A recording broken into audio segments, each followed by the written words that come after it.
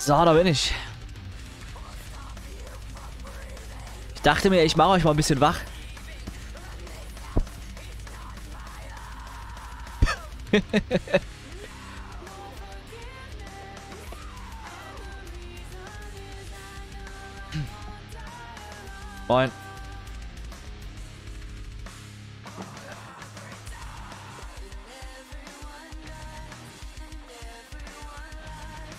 Wer es nicht kennt, das ist der Black Ops 1 äh, Zombie-Soundtrack. Mega geil. Leider irgendwie danach ein bisschen untergegangen. Ja, genau. Das ist eines der besten, finde ich, zumindest so Gaming, äh, so Lieder, die extra nur für ein Game geschrieben wird. Ist voll untergegangen. Ja. Aber, aber erstmal Black Ops 1 Zombie Soundtrack. Geht, glaube ich, in drei Minuten oder so. Da sind wir wach. Eine Runde Headbang. Da war Max noch in der Ausbildung. Äh. Nee. Wann war Black Ops? 2011? Der war ich in meiner Ausbildung.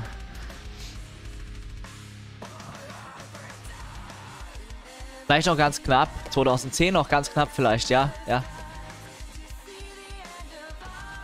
Ich würde ja so gerne mal ordentliche Musik ab und zu hier im Stream spielen. Weil nicht, dass die Nintendo-Soundtracks und andere Sachen nicht irgendwie auch ein bisschen entspannend wären. Aber ab und zu mal so mal richtig ordentliches Gegrunzel ist doch mal... Aber das geht ja auf Twitch nicht. Außer es ist Gaming-Soundtrack.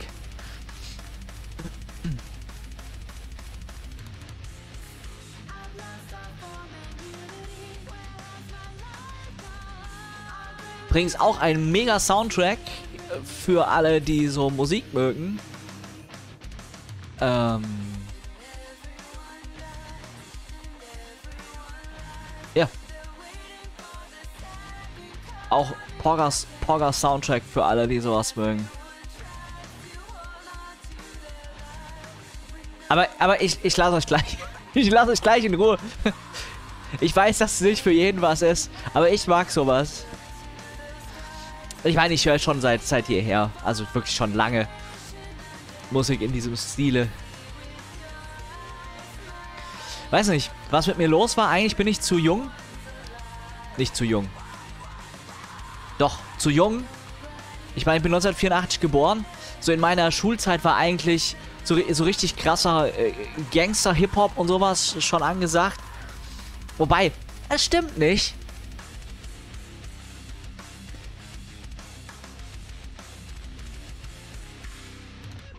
Wir haben es geschafft. Ähm, nee, das stimmt gar nicht. Es war in meiner Schulzeit tatsächlich gar nicht so viel Gangster, Gangster-Rap angesagt. Was in meiner Schulzeit ange äh, angesagt war, war noch das. War das noch davor? Es war ein klein bisschen Kontrast, bisschen, bisschen Happy Kirby-Musik.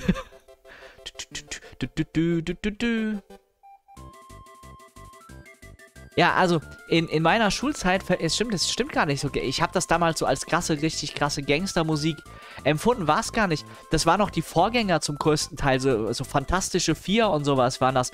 Das war noch so der, der Vorgänger von dem heutigen ganzen Gangster-Rap-Kram.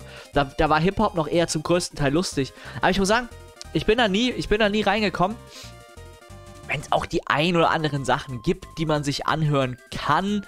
Also ich meine, zu, zu, ein bisschen später war Eminem übelst angesagt, da kann man sich die ein oder anderen Sachen geben. Aber bei, bei mir persönlich ist zu 95% Heavy Metal oder wenn ich irgendwie was mich konzentrieren muss für Progress stells oder sowas, dann mache ich irgendwelche, ja, entweder Gaming-Soundtracks oder irgendwelche Chill, Background, Elektro-Dinger auf YouTube an und lass die im Hintergrund dudeln. Ich, ich mach nicht, ich mach nicht 10 Stunden Kirby. Das halte ich nämlich nicht aus. Und, und ab und zu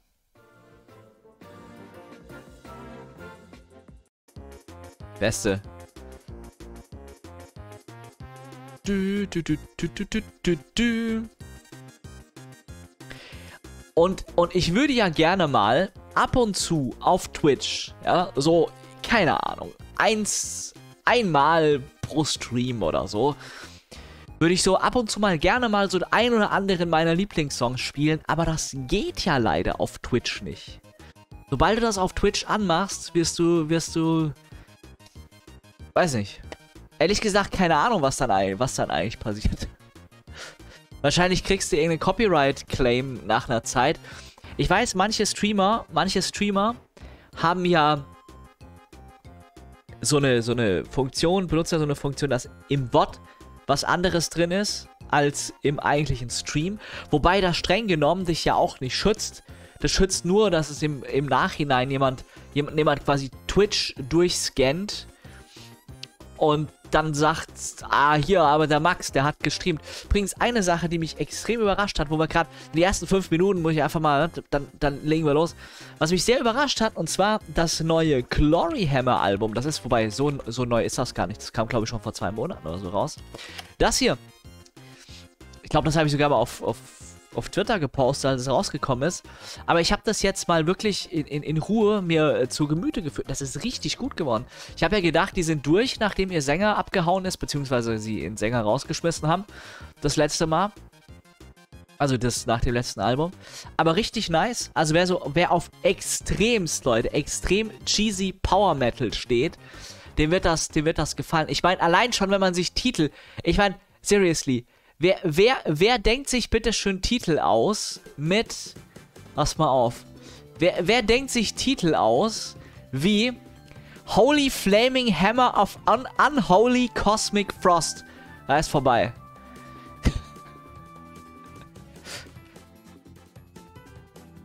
also, das ist genauso, genauso übertrieben, genauso übertrieben, wie es das andere ist, auch. Aber das ist, das ist wirklich mega nice. Hat mich wirklich, hat mich echt überrascht. Und ansonsten. Leg gerade. Was ist denn so das? Weiß es jetzt gar nicht aus dem Kopf. Muss mal kurz bei Amazon gucken. Äh, nicht bei, äh, nicht bei Amazon, bei YouTube Music. Was ist es denn, was bei mir zum größten Teil in letzter Zeit läuft? Ich, ich habe ich hab in letzter Zeit gar nicht so wirklich wirklich viel Zeug gehört. Also, bei mir, okay, zeig mal hier, YouTube Music. Powerwolf, Powerwolf auch immer mega nice ehrlich gesagt, ich finde den neuen Sänger auch fein. Voll, also ich habe ja erst gedacht, so ein bisschen, hm, naja, so, weiß nicht, habe ich noch nie benutzt. Aber finde ich, find ich vollkommen in Ordnung. Also passt, man könnte fast sagen, passt, also es ist ja nicht viel Unterschied, also passt wirklich gut. Fast, passt fast ein bisschen besser als der alte. Der alte hat sich, glaube ich, auch ein bisschen schwer getan. Ich habe ich hab ein paar Live-Auftritte gesehen, das war nicht so vorteilhaft. Also, nicht, ich war nicht live da. Ich habe mir Live-Auftritte auf YouTube angeguckt. Das ist ja immer so ein Ding mit, wie gut da auch die Soundqualität ist und sowas. Aber das sah schon ein bisschen, bisschen anstrengend aus, ja. Also, was habe ich denn hier? Was ist bei mir denn auf äh, YouTube Music angesagt in letzter Zeit? Okay. Äh, Powerwolf ist angesagt. Blind Guardian ist angesagt. Ähm, Wikinger, Wikinger Heavy Metal ist angesagt. So, mehr zeigt es jetzt gerade nicht an. Listen again. Listen again. Ja, also YouTube Mu Music ist nicht wirklich hil hilf hilfreich, ne? Ich, das zeigt mir an, okay, du hast Blind Guardian gehört, ein Album, und dann zeigt es mir fünf Songs aus dem Album an unter Listen Again. Wo ich mir denke, Moment, wenn du mir das Album anzeigst, YouTube Music, da musst du mir nicht die Songs aus dem Album anzeigen. Das, also, YouTube Music ist wirklich ex extremely pepega. Aber ich benutze YouTube Music, weil es bei YouTube Premium oder wie das heißt dabei ist. So, ich muss auch meine VM starten. Wir müssen mal Updates machen, wo wir gerade dabei sind. Leute, mir tut der Bobbes gar nicht mehr so sehr weh. Ich habe jetzt ja, wie gesagt, ich habe euch ja erzählt, ich habe ein neues Fahrrad. Und die ersten paar Sachen haben mir echt der, echt der Hintern weh getan, nachdem ich gefahren bin. Aber ich bin gestern, ich bin gestern nochmal 30 Kilometer gefahren. Jetzt ist schon, heute schon gar nicht mehr ganz so schlimm. Also ich, ich glaube, ich gewöhne mich so langsam an den Sattel. Zumindest weiß ich jetzt äh, wieder exakt, wo meine Sitzknochen sind. Äh. Ach doch, wenn man weiter scrollt, sieht man. Wenn man weiter scrollt bei Listen Again, sieht man tatsächlich noch was auf YouTube. Auf, auf YouTube Music. Und zwar sieht man dort Demons and Wizards. Ah, das ist. Also ist dieses Crossover aus äh, Blind Guardian und Iced Earth. Wobei, Gibt es, gibt es Iced Earth überhaupt noch? Da ist doch der, da war doch der Sänger, nee, nicht der Sänger, der, der, der, der, der, der, der Gitarrist, glaube ich, war das. Der war doch ver verwickelt irgendwie in diese Trump-Kapitol-Geschichte da in den USA, was vor ein paar Jahren war. Weiß gar nicht, ob es überhaupt noch gibt. Können wir mal was mit Kotlin machen? Eine neue Android-App oder so? Ich. Haben wir nicht sogar Kotlin mal ausprobiert? Vor noch nicht allzu langer Zeit? Ich meine, wir haben keine Android-App gemacht, also da war ich überhaupt nicht in der Lage, solche advanceden Sachen in Kotlin zu machen, ne? Also. Komm, wir machen mal ein bisschen. Ey, wir machen jetzt keinen Headbanger. Komm, wir machen mal ein bisschen Wupp Wupp. Wow! Alter, ja gut. Wupp Wupp Wupp. Wupp Wupp Wupp ist immer so. So, so ge. geequalized, immer auf einen Sound. Ein, ein Level. Ja, wir haben Kotlin vor einem Monat gemacht. Stimmt hier, guck mal. Wobblos TV. Haben wir doch hier. Ich muss übrigens ein bisschen aufpassen. Ich habe mein Handy für die Arbeit vor mich gelegt, weil es kann sein, dass mich heute, wenn irgendwas kaputt geht, einer anruft. Ich habe gesagt, ja, kein Ding, ich mache das heute. Hoffe natürlich nicht, dass was kaputt geht, aber man weiß ja nie. Hier haben wir Kotlin gemacht, guck mal.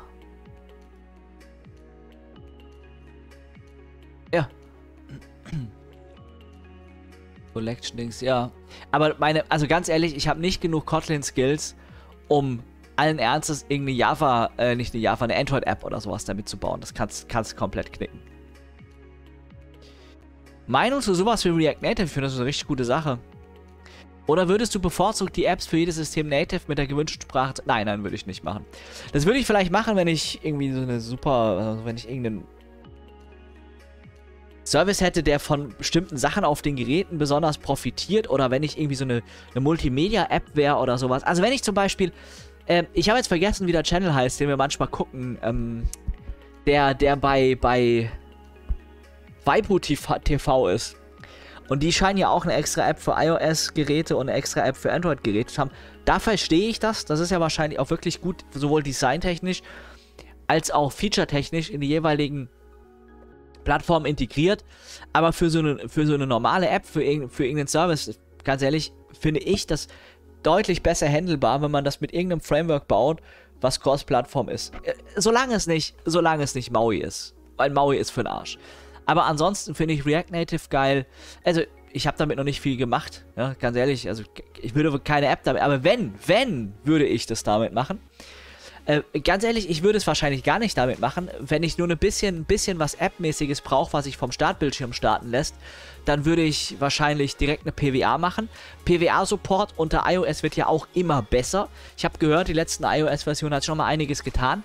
Es könnte sogar sein, wir gucken mal, can I use? Es könnte sogar sein, dass Web Notifications. Heißt das überhaupt so? Nee, wie heißt denn das? Notifications, einfach nur Notifications. Dass das sogar Safari mittlerweile kann. Im View Native gibt es auch, ja. Es könnte sogar sein, dass das mittlerweile Saf... Guck mal, guck Leute, hier. Ah, Partial Support, Partial Support. Requires website to be first to add it to home screen. Ja, vollkommen okay. Guck mal, sogar da könnte ich jetzt den, den Preis-Champ ja wieder rausbringen. Der konnte nämlich noch keine Notifications auf iOS. Guck mal, sogar, sogar Safari kann das. Also, man kann wirklich viele Anwendungsfälle schon jetzt, wenn ich das so sehe, auch als PWA abbilden. Dann musst du dir diesen ganzen Apple-Zertifizierungs- und App Store-Shit nicht geben. Natürlich hast du keinen Zugriff auf Native, also außer über Browser-APIs, wo das angeboten wird, auf Native-Funktionen von dem Gerät und äh, kannst auch nicht auf irgendwelche iOS-APIs direkt zugreifen. Aber wenn man das braucht, dann äh, kann man ja an React Native oder sowas denken. Also ich, ich würde es ehrlich gesagt bevorzugen gegenüber App für jede Plattform. Es sei denn, man hat wirklich richtig handfeste Vorteile auf der jeweiligen App. Weil ansonsten musst du überlegen, drehst du ja komplett am Rad. Die, dann, dann brauchst du, da brauchst du eine App für Android, brauchst eine App für Android TV, auf jeden Fall. Ne, weil die wird so, auch wenn es Android ist, die, die, muss eh komplett anders aufgebaut werden. Du brauchst eine App, äh, eine App für iOS, eine App für Mac, eine App für Windows, eine Map, äh, eine, eine Map, eine App für Apple TV, im Zweifelsfall noch für Fire TV, das bei Amazon. Da drehst du doch irgendwann am, am Rad, wenn du da alles native machen willst. Also aus meiner, aus meiner Sicht ist sowas wie React Native wirklich POG. Gerade wenn man einen Webservice hat und viele Webentwickler am Start hat, dann ist das, glaube ich, mit das Beste, was man machen kann. Gibt ja noch mehr, gibt ja noch Ionic und was es nicht alles heißt. Ich wollte übrigens Package-Updates machen, wo ich gerade dabei bin. Und was, was, gibt, gibt zig Varianten. Ich weiß nicht, ob man mit Svelte mittlerweile auch schon was in der Richtung machen kann. Gibt es auch Quasar und alles. Gibt ja mittlerweile tausend Varianten, um irgendwie Apps zu erstellen. Ich habe gelesen, es gibt sogar mittlerweile für Leute, die sowas wie React Native verwenden, sogar Web-Services, die deine Apps im, also mit einem mit einem Cloud-Service bauen können, sodass du selbst kein Mac mit ChatG, wie heißt das? Xcode, gell? Mit Xcode mehr brauchst. Aber was du nach wie vor natürlich brauchst, ist ein Apple, also so ein Account und, und genehmigtem, ja, Developer-Account für, für Apple. Und den, glaub, glaub, glaub, bin mir gar nicht sicher, ob du ein eigenes Code-Signing-Zertifikat brauchst. Ja, also das ist natürlich immer ein bisschen kompliziert, weil Apple. Aber ich hoffe, das Sideloaden von Apps wird demnächst einfacher.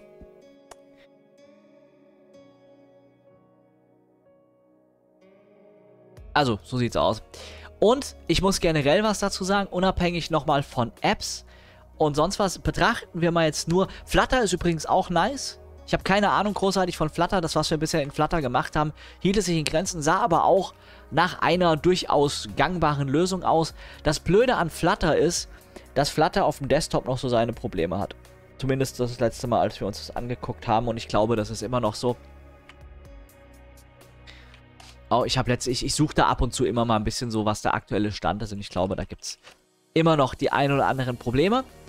Was ich ja sehr gut finde an Flutter, beziehungsweise was ich an allen UI-Frameworks mag, die das genauso machen wie Flutter, ist, wenn die UI-Frameworks ihre Controls selber malen. Das ist übrigens auch der Grund, warum ich Maui und vorher Xamarin Forms überhaupt nicht mochte. Ich bin der Meinung, ein gutes UI-Framework, gerade wenn du dich darauf verlassen können willst, dass deine App vielleicht jetzt nicht Betriebssystem native aussieht, aber seriously, Leute, äh, mal, mal ernsthaft, ja? Guckt euch mal Windows an. Nicht mal Microsoft selbst schafft es, dass Windows einen Native Look in irgendeiner Art und Weise hat. Von welchem Native Look reden wir denn hier? Von diesem neuen Native Look? Von diesem Native Look wie der Calculator? Reden wir von diesem Native Look? Oder reden wir, reden wir, reden wir vielleicht von diesem Native Look? Oder reden wir von diesem Native Look? Oder, oder reden wir hier vielleicht von noch besser? Noch besser reden wir von Reden wir von diesem Native Look. Das, also, komm mal, Microsoft selbst kriegt das noch nicht mal hin. Microsoft selbst ist schon mal komplett unfähig. Das heißt, es erwartet unter Windows niemand mehr heute eine App, die aussieht wie für Windows, weil es gibt keine Definition mehr, wie eine Anwendung für Windows aussieht. Das hat Microsoft einfach die letzten 15 Jahre komplett verschissen. Deswegen ist eine App, die so aussieht wie gedacht, finde ich viel wichtiger wie eine App, die Native Controls verwendet. Man könnte vielleicht noch sagen, ja, unter Mac, wo das halbwegs einheitlich ist, aber ganz im Ernst, dadurch, dass du dir so viele Sachen sparst, dass du nicht mehrere Apps für jede Plattform entwickeln musst, finde ich, Frameworks, die selber Controls zeichnen, ist das einzige, was man verwenden sollte für Cross-Plattform-Apps. Wenn man, wenn man Frameworks verwendet mit Native Controls, dann kann man auch gleich die Native-App machen. Ja, so viel, so viel. Deswegen mag ich auch Avalonia deutlich lieber als Maui oder gar Xamarin Forms. Deswegen finde ich den Ansatz von Flutter hier auch ziemlich gut. Deswegen mag ich auch den Ansatz von Qt, also Qt.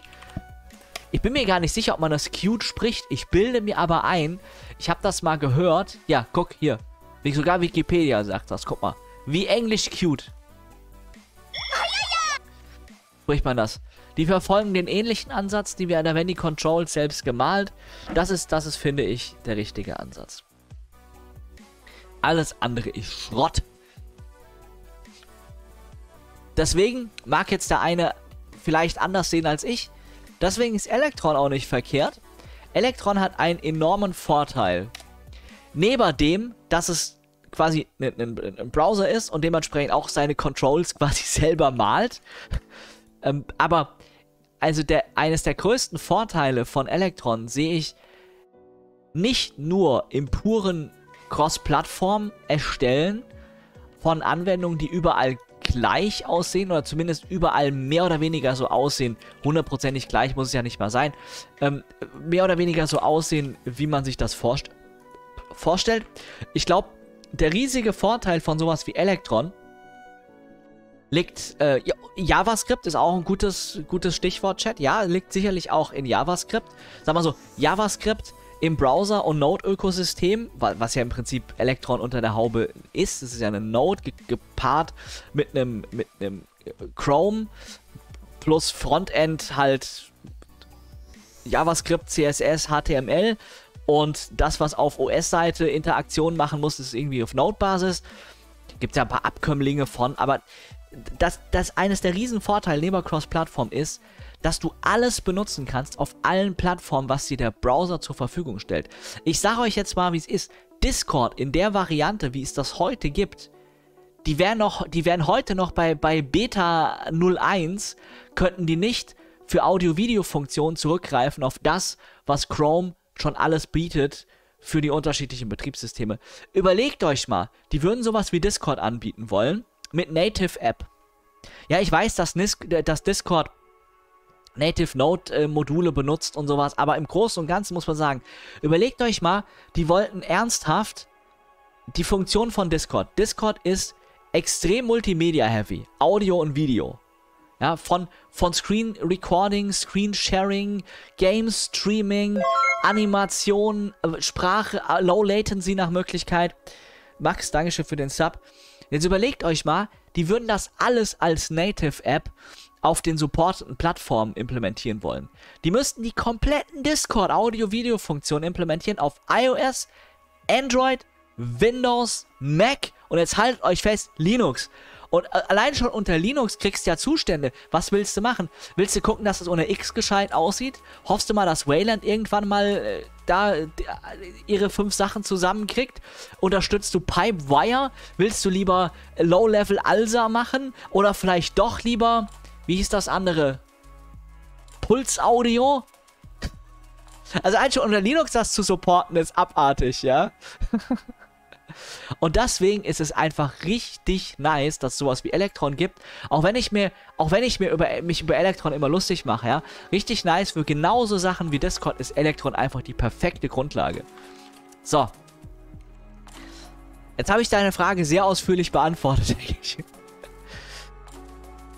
Max, was würdest du empfehlen, um im Bereich Cybersecurity weiter aufzusteigen, sein Marktwirt? Keine Ahnung, ich bin nicht im Bereich Cybersecurity unterwegs.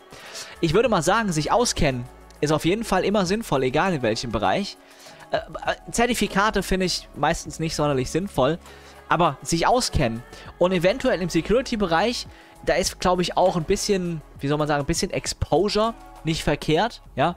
Also wenn du vielleicht schon ein paar Talks gegeben hast, wenn du schon ein paar Sicherheitslücken gefunden hast, wenn du schon ein paar äh, S, äh, SVE?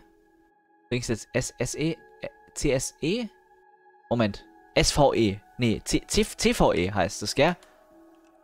Alter, bin gerade komplett verwirrt. Ja, genau. CVE, falls du da irgendwelche Sachen gefunden hast. Weiß nicht, ob es besser ist. Ich habe es noch nicht ausprobiert. Das macht sich sicherlich äh, gut. Go haben wir auch schon, schon mal im Stream gemacht. Das ist aber schon ein bisschen länger her. Wir haben sogar im Stream schon mal Kobol gemacht. Android ist auch sehr einfach. Das Schöne an Android ist, dass man einfach Apps sideloaden kann. Nicht so wie bei Apple, wo man um fünf Umwege äh, dann Apps sideloaden kann und dann werden, werden die Apps auch wieder gelöscht und sowas. Kehren Sie zum... Ich, das ist... Ihr kennt meine Streams, das ist Thema des Streams. Ja, siehst du? Sehe ich, seh ich genauso. Übrigens, bevor wir anfangen, mir ist was aufgefallen, Leute. Hat einer im Discord gepostet. Wir haben ein Problem, wobei, naja, ihr habt kein Problem. Ich, ich eigentlich auch nicht. Aber vielleicht muss ich, vielleicht muss ich ein schlechtes Gewissen haben. Und zwar, guckt mal. Ihr erinnert euch doch daran, dass wir ein paar Videos geguckt haben von The Native Web. Ja, wir haben, wir haben zum Beispiel Softwareentwicklung viel zu teuer geguckt, IT-Zertifikat und so. Haben wir ein paar Videos von geguckt. Und ich habe jetzt bei von dem Präsentator auf diesem Channel, auf seinem privaten Channel, folgendes. Und ihr könnt euch ja noch dran erinnern, ich habe einen Witz gemacht im Video, äh, im Stream, dass ähm, der, der Präsentator hier in den, in den Videos, dass das bestimmt ein Echsenmensch ist. Er hat geantwortet, ach, habe ich gar nicht gesehen. Das habe ich noch nicht gesehen. Dass es bestimmt ein Echsenmensch ist, weil er immer so blinzelt. Und heute gucke ich bei ihm privat auf den Channel und was gibt's als nächstes Video? Kolo ist ein Echsenmensch. Und, und, dann bin ich hier unten in die Beschreibung gegangen und habe festgestellt, fuck, guck mal, das sind ja Videos von mir verlinkt. Ich hoffe, der hat's nicht ernst genommen. Ich hoffe, der ist mir nicht böse. Ey. Da hätte ich echt ein schlechtes Gewissen. Weil je nachdem, was ist, ich meine, ich denke aus dem, aus dem, es ging aus dem Stream wirklich klar hervor, dass es halt ein Joke gewesen ist. So Illuminati um die Ecke. Aber je nachdem, wenn das was ist, jetzt stellt euch mal vor, ihr, ihr wurdet vielleicht mit sowas früher schon mal übelst geärgert. Da kommt so ein random Dude im Internet und ähm, macht sich darüber lustig. Vielleicht, vielleicht, vielleicht ist man dann echt sauer so. Okay, was hat er denn geantwortet? Jetzt bin ich gespannt. Oh, also ich, ich habe ihm noch geschrieben, ich weiß ja nicht, in welche Richtung das Video geht, aber an der Timestamp haben wir ein schlechtes Gefühl. Weil guckt euch mal die Timestamps an. Schmerzhafte Erinnerung ist ein böswillig oder unbedacht. Verantwortung als Creator. Alles hat seine Grenzen und die Anonymität im Internet. habe ich gedacht, oh fuck, ich glaube, der ist echt sauer. Auch wenn das nie meine Absicht gewesen ist. Okay, ich habe halt, habe halt geschrieben, ich habe jetzt echt schlechtes Gefühl. Also ich schaue deine Videos mega gerne und ich wollte dich irgendwie nicht beleidigen oder so. Was hat er denn geschrieben? Ja, why not? Klar. Hätte ich sogar Bock drauf. Könnte man durchaus, könnte man durchaus, ähm Ich glaube, da könnte man durchaus was, was machen. Aus, aus streamtechnisch. Müssen wir mal gucken. ja, Vielleicht, vielleicht einfach nur, weil er jetzt exposed wurde. Keck Alu. Einfach ablenken. So, wo, wo, wo, sind wir denn, wo sind wir denn stehen geblieben? Ich wollte doch hier noch irgendwas zu sagen, genau. Was war eigentlich mit Avalonia? Fand ich gut. Fand ich gut. Wir hatten uns für Native entschieden, sparen Entwickler, Zeit. Ja, ja, genau, genau so sehe ich das auch, ja. Was ist Mo Mojo? Oder Mojo? Wahrscheinlich Mojo. Ich weiß gar nicht, wie man das richtig ausspricht. Ich, ich, ich vermute mal Mojo. Schon wieder eine Hipster-Sprache. Das ist, das gucken wir uns jetzt gleich zusammen an, das ist ein Python Superset. Aber ist Mojo jetzt Open Source? Nee. Leider nicht. Warum ich teste? Weil ich Stream-Content brauche. Und sich letztens schon wieder die Leute beschwert haben, Max, wir haben schon lange keinen Progress-Stream mehr gemacht. Oh, das geht alles den Bach runter, Monka S. So kam Python 3.12 nicht gestern raus, habe ich überhaupt nicht verfolgt. Mojo ist nicht, ist noch nicht Open Source. Ja gut, solange es nicht Open Source ist, ist es nicht Open Source. Ob die sagen, dass sie es machen wollen, schön und gut. Ich, ich verstehe übrigens nicht, warum es... Ich, ich kenne den FAQ-Eintrag, ich verstehe aber nicht, warum es nicht Open Source ist. Heutzutage ist bei den meisten Sprachen sowohl die, also es gibt meistens einen halbwegs offenen Sprachstandard, ist auch bei C++, wobei, da fangen wir jetzt nicht an von, von der ganzen Thematik, ja. Aber es gibt zumindest bei den meisten Sprachen gibt es eine Open Source äh, Implementierung, also, also Referenzimplementierung. Meistens ist sogar die Standard Library und die Standard Runtime und alles Open Source. Und das finde ich auch wichtig. Man will doch wissen, was am Ende in seinen Binaries drin landet. Swift war Closed Source. Ja gut, das ist von Apple, das wundert mich nicht. Aber ich finde, ich finde wichtig, dass Sprachen, die man tatsächlich dann auch für produktive Sachen verwendet, ich persönlich lege da sehr viel Wert drauf, dass das Ökosystem im Kern Open Source ist. Und wenn das sogar Microsoft schafft, mit .NET und C Sharp, also ne, sollten, das, sollten das andere auch hinkriegen. Ich glaube, es gibt heute, Chat, fällt euch eine nennenswerte Plattform ein, die nicht Open Source ist. Java außen vor, da gibt es OpenJDK.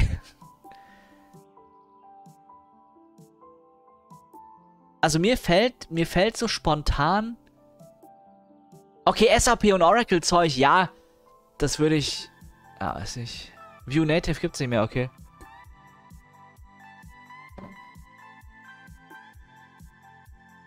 Also mir fällt eigentlich nichts ein. Lass, lass doch mal liegen. Also e egal was sind. Python, Open Source, komplett. Implementierung, Runtime, Sprachstandard, Standard, alles Open Source. So, warte mal. Ähm, most used Programming Languages. Go, können wir schon mal weitermachen. Ja, das ist ja klar. Da gab es doch bei Stack, ist hier, ähm, gab es da nicht bei Stack, die Stack Overflow Umfrage? Hier. Moin, Patrick. So, da gab es doch, hier die, die, gab's doch hier diese Umfrage.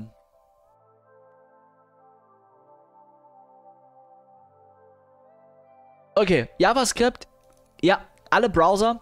Okay, bei Safari. Safari nicht, aber alle, alle gescheiten Browser. Oh, also JavaScript Engine, Browser, Open Source, HTML, auch Python, komplett Open Source. Äh, mehrere, Imple mehrere Open Source Implementierungen, Sprachstandards, äh, Standard Library, äh, Referenzimplementierung, Runtime, alles Open Source. Gut, SQL zählt jetzt nicht, TypeScript, sogar TypeScript, Microsoft Zeug wieder, Bash schon seit jeher, Java mit OpenJDK auch, C Sharp, .NET als Runtime, das, ähm, die Standard Library, die, die Sprache an sich, kannst du dir den Standard angucken, alles mögliche, komplett Open Source. C++ ist so ein, so ein Ding, muss man sagen, theoretisch ist C++ Open Source, aber es gibt keine, äh, es gibt keine offizielle Referenzimplementierung äh, von C++. Es gibt GCC, was der Sache vielleicht am nächsten kommt, aber das ist halt nicht so wirklich die offizielle Implementierung. Bei C ist es ja genauso, aber die nennenswerten Compiler sind Open Source, sowohl für C++ als auch C. Ich meine, es gibt, es gibt im Prinzip zwei nennenswerte, es gibt GCC und es gibt L, ich kann mir das immer nicht merken. Wie heißt das Projekt? LVM? LLVM? Nee, LLVM sind äh, AI-Geschichten. LVM heißt das. Nee, doch LLVM. Alter. also C-Lang oder Clang, wie das manche aussprechen. Also sind im Prinzip die einzigen zwei wirklich nennenswerten, so größeren, größeren C++ Compiler. Es gibt da noch für Microcontroller gibt es natürlich noch irgendwelche äh, GCC Extensions, beispielsweise diese äh, Extensor-Geschichte für ein ESP32 und sowas, aber letztendlich, es gibt eigentlich LLVM und also C-Lang, Clang und GCC. Und bei C ist es genauso. ist das gleiche. So, PHP ist, glaube ich, auch komplett alles Open Source, Standard Library, Implementierung, drumherum, komplettes Öko. Ich, PowerShell, sogar fucking PowerShell ist Open Source. Go, komplett Open Source. Runtime, Standard, alles, ja, Rust von Anfang an, Kotlin, ich weiß es nicht, ich denke auch mal, Ruby von Anfang an, Lua, keine Ahnung, wer, wer ist so verrückt und verwenden wirklich Lua. Dart auch, äh, ja, gut, das, das mal aus, wo Swift mittlerweile auch, R, weiß ich nicht, ähm, Basic, sogar Basic.net. Ähm, MATLAB, das könnte tatsächlich sogar Closed Source sein, das weiß ich nicht. Groovy auch, Delphi, keine Ahnung. Perl auch. Also, man sieht's, man sieht's, ja. Ich, glaub, ich glaube, ich habe den Point gemaked jetzt. So, habe ich jetzt, habe ich eigentlich schon alles, alles rebootet und, und neu restartet und Updates gemacht? Ich, ich glaube schon. Gucken wir mal kurz. Toolbox.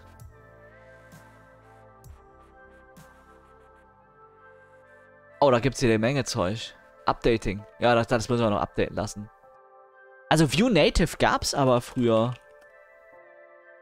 Oh, gibt es da nicht mehr? View Native has been deprecated. Monka W. Oh ja, gut. Dann halt nicht.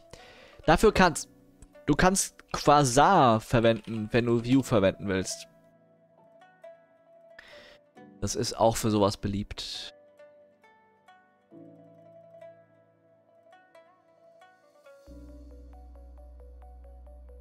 Ich weiß nicht, ob, ob es sowas wie Svelte Native gibt. Keine Ahnung. Okay, gibt's, gibt's anscheinend. Aber es ist ja kein Ding. Man kann einfach Electron nehmen und dann kann man jedes JavaScript-Framework benutzen, was man möchte. Wobei es nicht, dann nicht ganz so native ist wie der, wie, wie, wie, der, wie der Rest. Es ist dann halt immer noch ein Browser dazwischen. Was heißt ja eigentlich Visual Basic sogar auch Open Source? Ja, ist es. GitHub, visualbasic.net.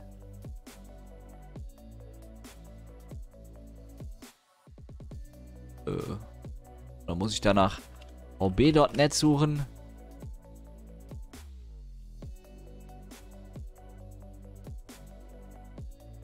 Ist es nicht?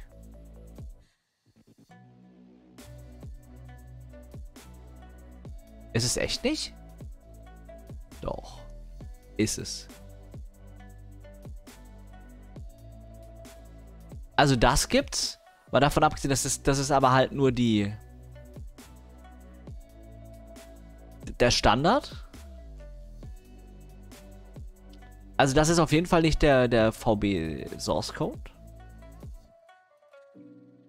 Okay, keine Ahnung. Vielleicht ist das in irgendeinem .NET-Repo mit drinne.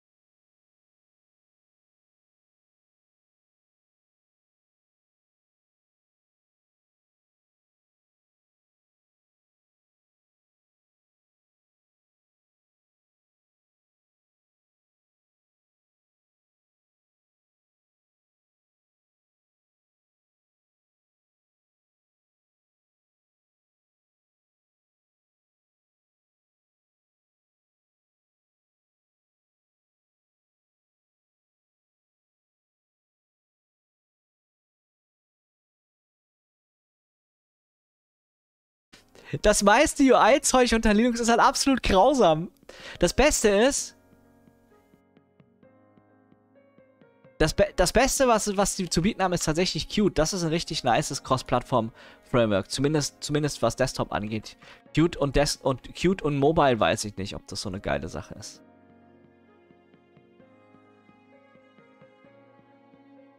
Nee, ich weiß es wirklich nicht und ich will es auch gar nicht wissen.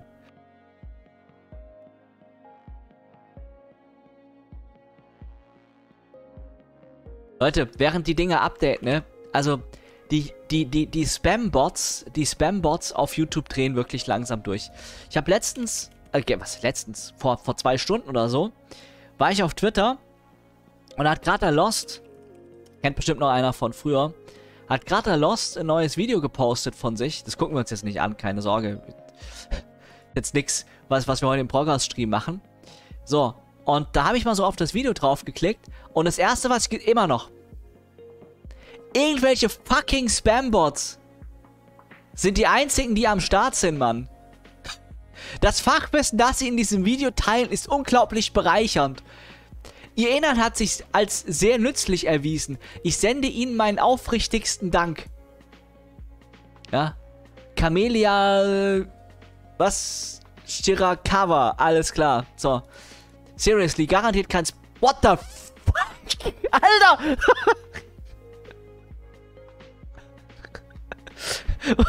Was zum... Okay, ich glaube, das war nicht Toss. Ich glaube, man hat nichts gesehen, aber... Fuck, man. YouTube! Shit. Moment, Moment, Leute. Ich muss mal kurz... Ich muss mal kurz bei mir im anderen Browser angucken, ob man irgendwas gesehen hat. Da muss ich den Bot löschen sonst. Okay. Man hat nichts gesehen.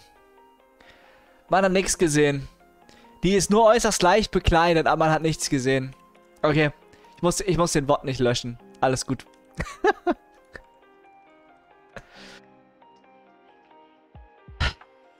oh Mann. Alter.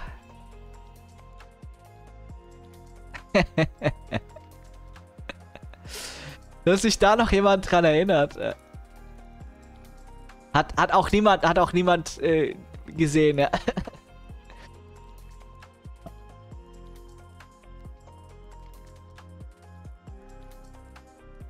Das stimmt wohl. Das stimmt wohl. Das stimmt wohl. Auf Twitch ist es schlimmer. Letztens, wisst ihr noch, wo letztens irgendwie, wo ich, wo ich umgeschaltet habe, Channels auf Deutsch und dann, das war, das war ja nicht mal Poolstream. Das war ja einfach, einfach so äh, Popo in die Kamera halten Stream. so, hat das Ding jetzt geupdatet hier, ja? Alles klar. Okay, gut. Dann können wir loslegen, würde ich sagen. Wir haben noch, haben noch Zweieinhalb Stunden Zeit. Also. Mojo Lang. Das probieren wir jetzt aus. Leute, ich habe legit, normalerweise habe ich mir im Vorfeld das immer ein bisschen angeguckt. Ich habe echt gar keine Ahnung. Ich weiß, das Einzige, was ich davon weiß, ist, dass man seine Dateien .fire-Emoji nennen kann. Anstatt, man kann sie .mojo oder .fire-Emoji nennen. Das hat mit, mit AI hat es ehrlich gesagt, was machen wir überhaupt nichts zu tun. Es ist, es ist quasi Python, was man zu einem Single Binary kompilieren kann. Das gibt es, gibt es mehrere, ja, gibt es, gibt ja mal Python Compiler, aber die bieten zusätzlich noch mehr Sachen an, was quasi über das hinausgeht, was Python hat. Bin ich, bin ich mir nicht sicher, wie, wie weit wir da heute kommen. Also was ich mir heute mal angucken will, ist also ganz so einfache Basics. Wie kompiliert man ein Programm? Und dann, das ist ja für mich immer eine ganz äh, wichtige Geschichte, dann bauen wir uns einen Docker-Container und gucken, wie rückwärtskompatibel die Binaries sind und wie self-contained die Binaries sind. Wenn da schöne rückwärtskompatible Self-Contained Binaries rauskommen, ist das immer eine super, super Geschichte für irgendwelche ähm, Tools, intern Tools für Admins oder, oder sonst was. Das ist immer ganz praktisch. Ja, deswegen, da ist Go absolut King, was das angeht. Da gibt es nichts, was an Go rankommt. C-Sharp holt mit AOT-Kompilierung ein bisschen auf. Leider haben sie immer noch ihre doofe Abhängigkeit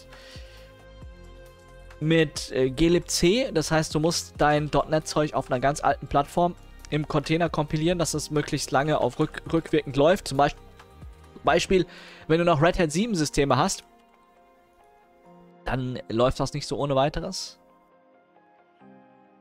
Dann gucken wir uns an, wie groß die Binary Size ist. Dann gucken wir mal an, ob wir vielleicht C-Funktionen callen können daraus, weil es ist ja immerhin, sagen ja auch, ist für Low-Level-Sachen mit geeignet. Gucken wir mal, wie groß ein Binary ist und, und was sie so sagen. Aber nachdem ich keine Ahnung habe, würde ich sagen, wir readen jetzt die Docs Getting Started. Get Mojo. Also, wir haben das beste Betriebssystem der Welt. Dementsprechend ist das sicherlich schon in irgendeinem Repo zur Verfügung.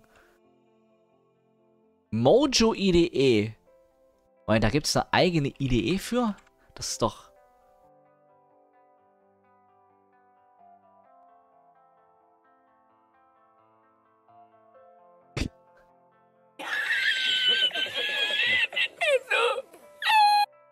Das ist sicherlich was anderes.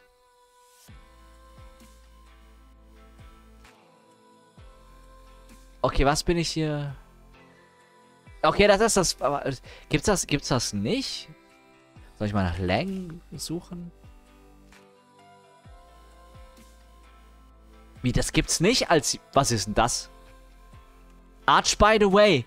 Ich bin, ich bin schwer enttäuscht. Ich das richtig? Es gibt's nicht.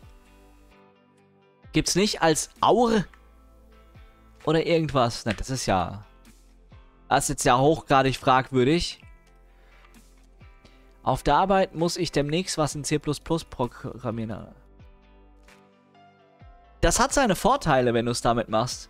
Du ersparst dir dieses ganze Rückwärtskompatibilitäts-glibc-Geschiss.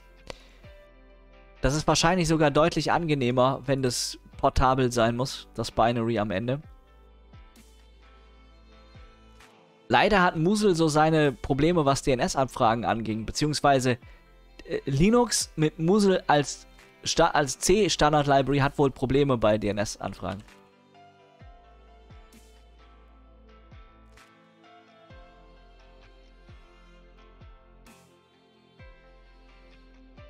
Okay, wie installiert man das Ganze jetzt? Getting started. Download. Ja, das ist ja einfach. Ich, das, das muss ich mir jetzt mal angucken. Also, Mojo SDK includes everything you need for local Mojo development, including the Mojo standard library and the Mojo command line interface. Mojo CLI can start Rebel. Das ist, ähm, das ist, das ist im Prinzip so eine Ausprobier-Command-Line. Ich weiß gar nicht, ich weiß gar nicht, wofür das steht. Ähm, repeat. Irgendwie so einfügen, ausführen, repeat oder irgendwie sowas. Keine Ahnung, wofür das steht.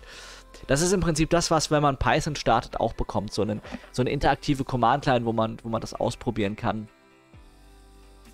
Compile and run. We've also published a Mojo extension for Visual Studio Code. Okay, anscheinend müssen wir Visual Studio Code. Read Eval Print Loop. Genau, das meine ich.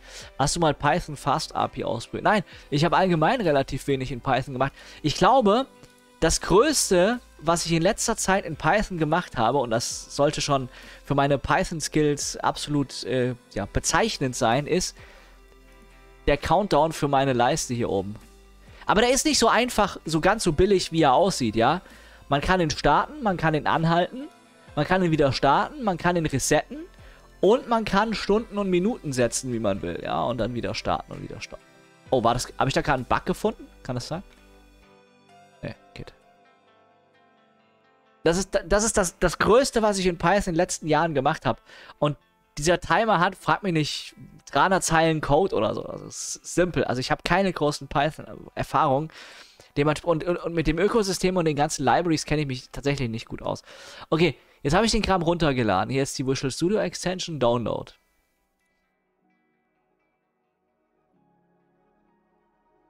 Setup Guide includes... Okay, Setup Guide.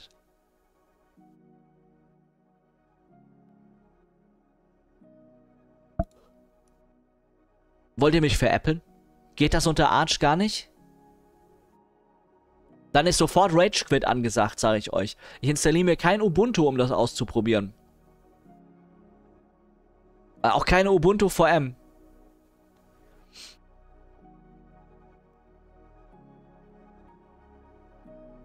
Download. Ja, okay, let's go. Äh, ich soll mich registrieren? Für den... Wollen die mich verarschen? Nee, gibt es nicht. Gibt es nicht. Ich... Okay, okay, ich... Also, bisher habe ich ja nur drüber gemeckert, dass es nicht Open Source ist, ja, aber... The fuck? Das ist doch nicht euer Ernst. Okay, ich mache mir einen Fake-Account, ist, ist okay. 10-Minute-Mail. Pass mal auf, die haben Fake-Accounts jetzt auch noch gesperrt, dann, dann raste ich aus, ey.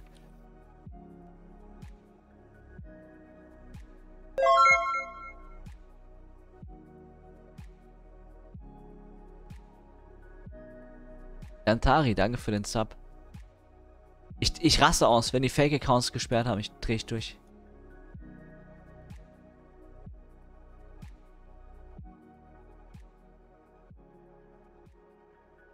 Ja, GitHub Actions kannst du dann auch knicken. Deswegen gibt es da auch kein Hour wahrscheinlich, weil du es nicht dis distributen darfst. Einfach so. Ich, ich sehe schon, dass es nix. Ich glaube, die. Ach, haben die allen Ernstes freie ihm. Oh, ey.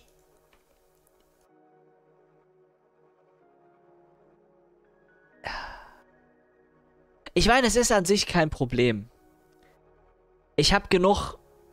Ich habe unendlich E-Mail-Adressen auf den ganzen Domains und die sind halt nicht.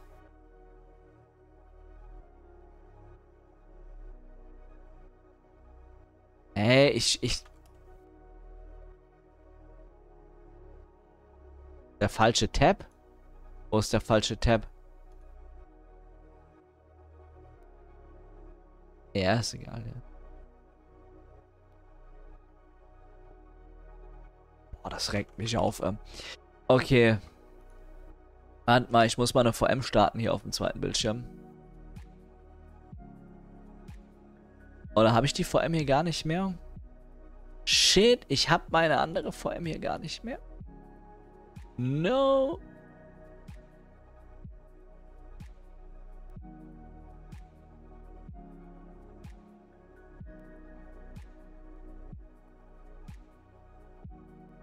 Aber ich glaube, ich. Ah, doch. Ich kann mich im Webinterface für meine, Dom für meine Domain und, und E-Mails einloggen. Äh, Chat. Warte mal. Ich muss mal kurz Ja, ja, Or Oracle VM kappa0.com. Ach, jetzt nerv nicht. Ich will das copy-pasten. Okay, Oracle VM at kappa0.com. Jetzt muss ich nur das Webinterface dafür aufmachen.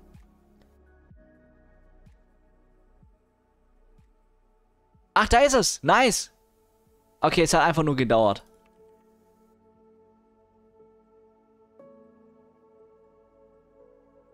Es hat einfach nur gedauert. Hat sich alles, hat sich alles erledigt. So, Dark Reader aus. Uh, Auge. Wupp. Lords. Mod Modular Protrack. Äh, ehrlich gesagt juckt mir Mojo. So, Company Name. Tech W. Wir haben über 5000 Leute. Also sind wir mal realistisch. Twitch-Chat zählt mit. In Industry sind für ja, alternative Medizin. Tech Alu. Oh Leute, ich will nicht wissen, was die letzten Tage auf Twitter los gewesen ist. Ich habe die letzten Tage Twitter ein bisschen gemieden, als ich gehört habe, dass beim Medizin-Nobelpreis jemand oder zwei Leute gewonnen haben, die an der Corona ähm, an Corona-Medizin mitgeforscht haben. Da war bestimmt massiv, massivstes Cake Alu angesagt auf Twitter. Massivstes Cake Alu. Say good day to Z-Bock.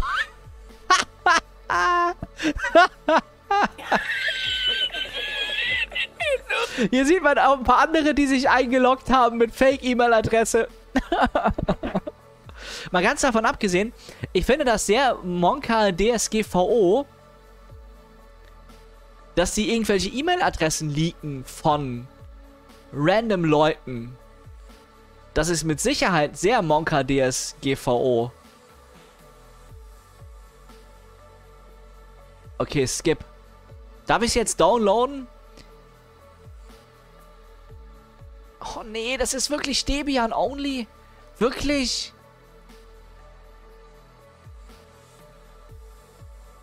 Es muss Ubuntu 20.04 sein? Okay, ich mach mal, ich mach mal einen Snapshot. Mach mal einen Snapshot vorher. Take Snapshot. Da werden wahrscheinlich random User-E-Mail-Adressen gelegt, ja? Willst du dir selbst? Nee. Okay, Snapshot. Das ist der aktuelle Snapshot. Den alten können wir mal deleten, den brauchen wir nicht mehr. Mach doch fix eine Hetzner VM. Wofür brauche ich eine Hetzner VM? Ich will mich da connecten drauf mit, mit dem grafischen Editor. Da kann man das sicherlich auch irgendwie remote machen, aber das macht es ja nur unnötig kompliziert. Ich kann mir einfach lokalen Ubuntu-VM machen, aber ich will keine Ubuntu-VM machen. Ich weiß jetzt schon, dass ich das nie verwenden werde, wenn ich nur, um die Sprache verwenden zu können, ein Ubuntu brauche. Nicht, dass ich was prinzipiell gegen Ubuntu hätte, finde das eine ganz, ganz brauchbare Distribution, aber ich will, ich will nicht. Meine Qt-VM, stimmt. Die, die, die, muss, die müsste eigentlich mal wieder rausgeholt werden. Was willst du denn programmieren? Das weiß ich ja noch nicht. Irgendwas zum Ausprobieren. Ist das, habe ich gerade meinen API-Key geleakt? Kann das sein? Ist das, ist das API-Key-Leak?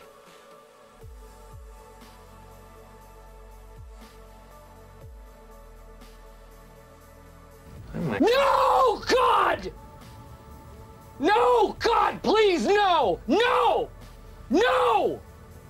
No!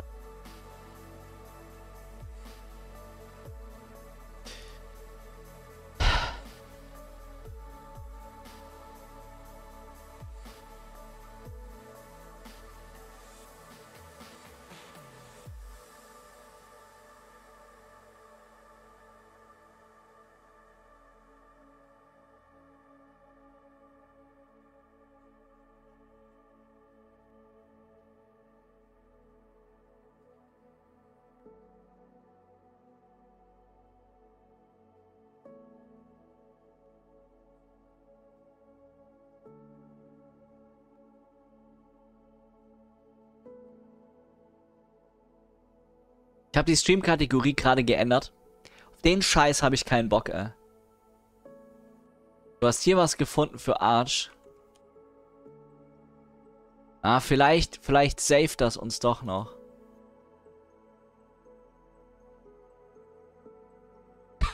Okay, was macht das? Was macht das?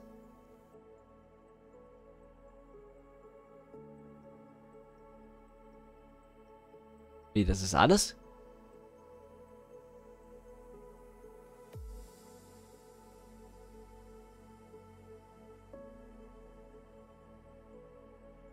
Eine Install.py passiert das.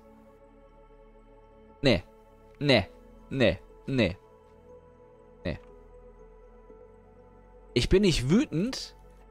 Ich sehe es nicht ein, dass ich das use jemals unter den...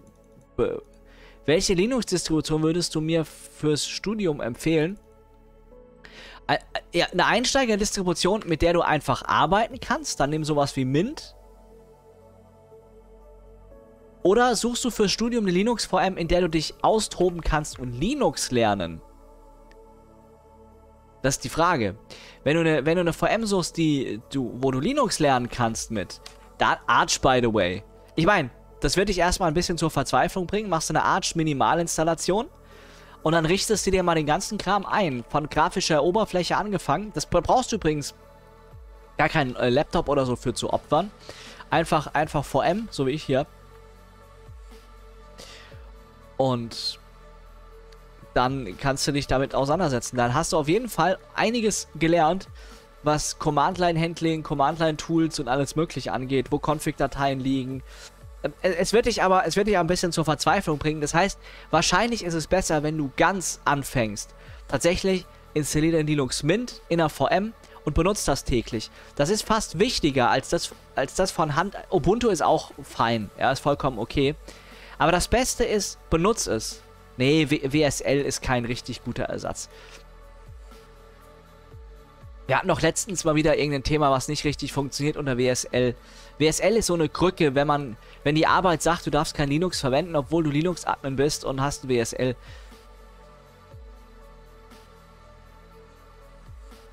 Kannst du die Sandbox nutzen? Vielleicht, aber damit kann ich nicht ausprobieren, wie sich das in Containern und rückwärtskompatibel und so. Nee, nee. Ich, da habe ich, hab ich echt keinen Bock drauf. Also ganz ehrlich, Zwangsregistrierung dafür ist dämlich. Ubuntu Only ist dämlich. Kein, kein Bock drauf. Also das Wichtigste ist fast ohne Mist, dass du das benutzt. Versuch es, versuch es einfach zu benutzen. Du kannst Ubuntu verwenden, du kannst auch Linux Mint verwenden. Du kannst irgendwas verwenden, das ist eigentlich wurscht. Du musst nicht gleich in Arch dir selbst, selbst auf, äh, aufsetzen. Linux Mint ist eine schöne Einsteiger-Distribution, wo alles fix und fertig ist. Wichtig ist, dass du es benutzt. Versucht es für tägliche Aufgaben zu benutzen. Also wenn du im Internet surfst, wenn du, was auch immer du machen willst. Natürlich, wenn, es, wenn du jetzt sagen willst, ey, ich will unbedingt auf Steam was spielen, dann mach das lieber unter Windows. Weil gerade mit, mit äh, Linux Mint VM ist dann mit Spielen nicht viel. Ich würde dir auf jeden Fall VMware empfehlen. Und VMware Workstation würde ich dir tatsächlich empfehlen. Weil du bekommst in VMware Workstation Key schon für ein Abo und ein Ei bei Keyshops hinterhergeschmissen. Oder du googelst mal. Was natürlich nicht erlaubt ist. Also ich habe es mir damals gekauft bei einem Keys-Shop. Ja. Aber wichtig ist, dass du es benutzt. Und wenn es Probleme gibt, dann musst du dich auch ein bisschen damit auseinandersetzen, wo liegt welche Config-Datei im Heimatverzeichnis und wie kriege ich es zum Laufen und wie customize ich meine Shell und sowas. Versuch aber erst gar nicht, und das ist jetzt auch ein Tipp, den ich jetzt jemand, der sich wirklich ernsthaft damit auseinandersetzen will, versuch nicht die Kommandozeile zu umgehen. Das kannst du vielleicht so dem 0815-User raten, so nach dem Motto, ja, man kann unter Linux Mint auch das äh, quasi fast alles über GUI machen und so. Aber du wirst früher oder später feststellen, das ist gar kein Nachteil, weil die Leute verbinden das mit diesem beschissenen CMD-Prompt von, von Windows. Das ist gar kein Nachteil. Das ist eigentlich eines der größten Vorteile, die du unter Linux hast, dass du eine ordentliche Kommandozeile hast und auch jede Menge ordentlichen Terminals. Ja, aber das funktioniert in der VM doch nicht richtig. Also, Spielen unter Linux ist je nach Spiel eh schon nicht so dolle. Geht mittlerweile viel, aber gerade in der VM kannst du es vergessen. Nur Kommandozeile. Okay, das ist die Hardcore-Variante. Ja. Ja, ja, ja. Äh, falls dich interessiert, was ich für Config-Dateien verwende, kannst du hier gucken auf GitHub sind meine Dot-Files. Ich glaube, ich müsste die mal wieder pushen. Die sind nicht hundertprozentig aktuell, aber zum Großen und Ganzen passt das. Was du auch unbedingt brauchst, essentiell, wenn du, wenn du Linux verwendest, sind die White Paper Happy Desktop Backgrounds. Und vor allem der Nudel mit Lachs, der ist sehr wichtig.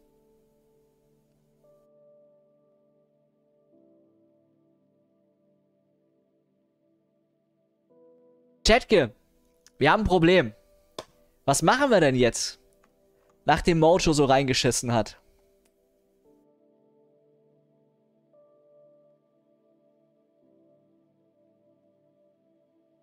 Haskell Stream.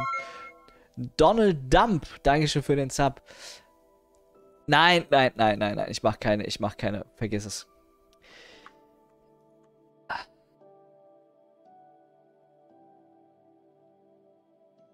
Stellenanzeigen. Wenn du eine hast, schick her. Hab ich jetzt, habe ich jetzt eigentlich keinen, will ich nicht den ganzen Abend mit, mit verbringen.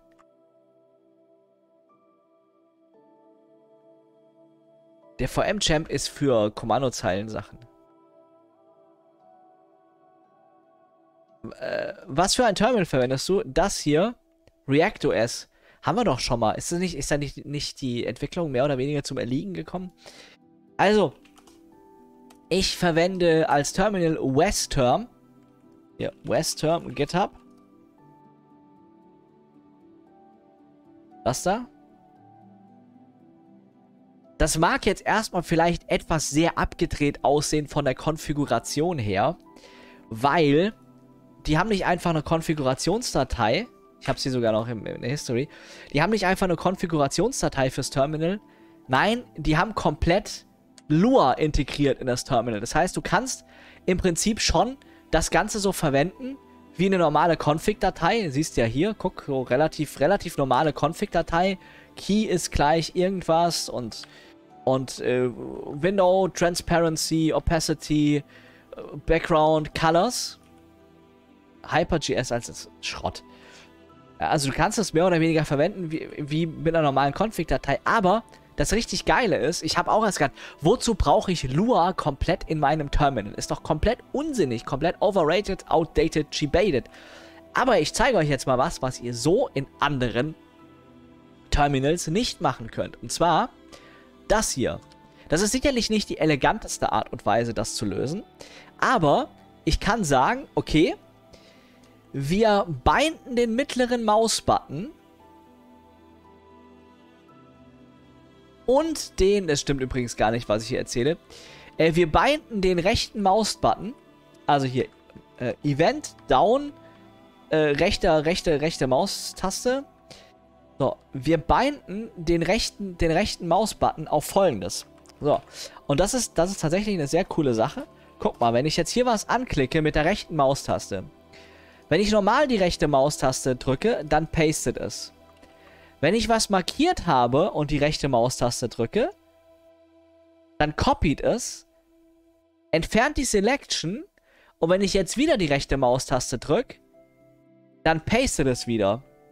Und das funktioniert anhand dieser Logik hier. Guck, der schaut. Wenn die rechte Maustaste gedrückt wird, gibt es im aktuellen Window eine Selection. So. Oder ist die Selection leer? Wenn es, wenn es eine Selection gibt, dann kopiere die Selection in das Clipboard und in die Primary Selection von, von dem aktuell ausgewählten Split und dann mach die Selection weg. Wenn es keine Selection gibt, dann soll die rechte Maustaste als Paste fungieren. Also sprich, man kann selbst sich hier in der Config programmieren, wie Copy-Paste funktionieren soll. Und ich kann jetzt im Prinzip, wenn ich Copy-Pasten will, also mal angenommen, ich will das hier Copy-Paste mit der Maus, ich klicke das an, drücke rechts, rechts und schon ist da. Mittlere Maustaste geht übrigens auch. Und das, das, ist einfach nice, dass das funktioniert. Ich, ich habe noch ein paar andere, paar andere Kleinigkeiten gemacht, aber ansonsten, ich habe das Farbschema ein bisschen angepasst, aber sonst nichts Großartiges. Das finde ich aber wirklich extrem, extremely nice bei dem Terminal. Dazu kommt, es ist sehr geschwind, es ist wirklich sehr zackig. Ah, also guck mal, wenn es ein Terminal schafft, 50% CPU-Auslastung auf allen Cores zu generieren, kannst du davon ausgehen, es ist blazingly fast written in Rust. Und es ist tatsächlich written in Rust, aber das ist nicht der Grund, warum ich es verwende. Also das ist nice, das Terminal. Und du brauchst kein T-Max mehr. Du kannst komplett in Westterm so Sachen machen wie äh, horizontal splitten, vertikal splitten und, ja, sagen wir mal, hier unten starte ich jetzt das da. Hier oben stark, habe ich Hollywood noch drauf? Nee, habe ich nicht. Ja, hier oben äh, lasse ich das laufen und hier unten, äh, keine Ahnung, Watch ls-la, so. Und da kann ich es gleich wie in T-Max machen, kann ich das hier ranzoomen und wieder reinzoomen und sowas.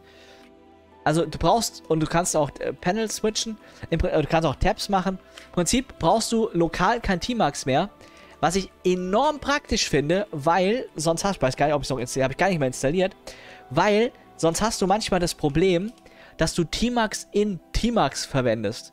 Also du startest ja oftmals per, über du startest SSH, dann startest eine T-Max-Session, machst vielleicht Session-Sharing mit irgendeinem Kollegen auf der Arbeit, aber dann hast du irgendwann T-Max in T-Max, da musst du dann immer so Doppel-Escape, da musst du Ctrl-B, Ctrl-B, C und sowas drücken, um auf dem Server was zu machen.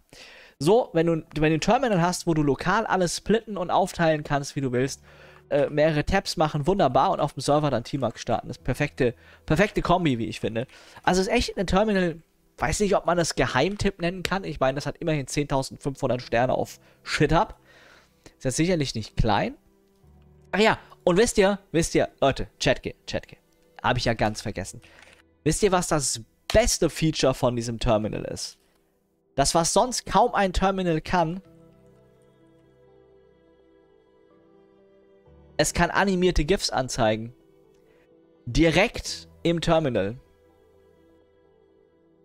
Also das sollte ja nur wirklich... Das sollte nur wirklich jeden überzeugen, oder?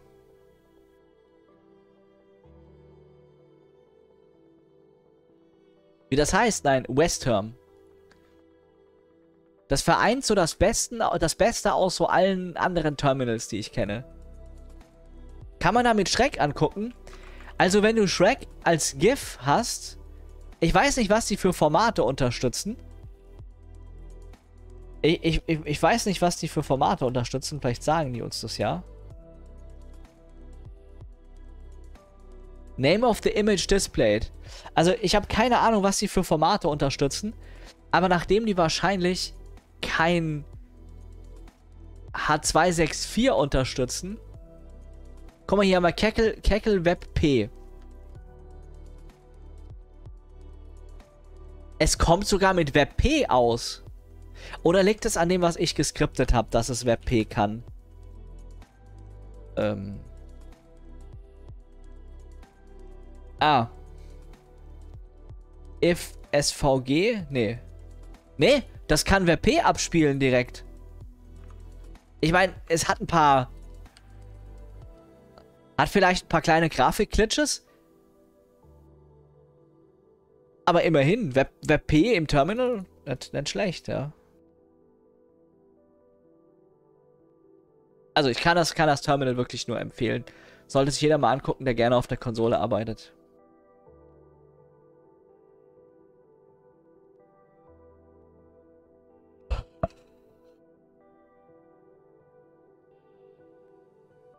Snap ist Hypermüll.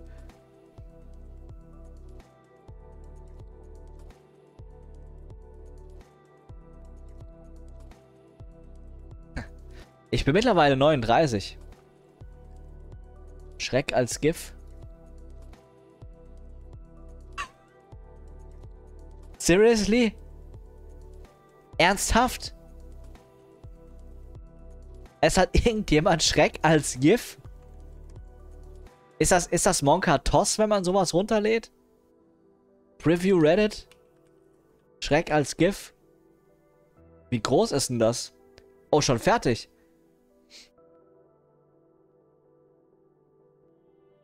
...23 MB. Okay. Image Cat? Oh, ich glaube, das hat Probleme mit dem Dateinamen, hä? Keckel. Keckel 3.gif.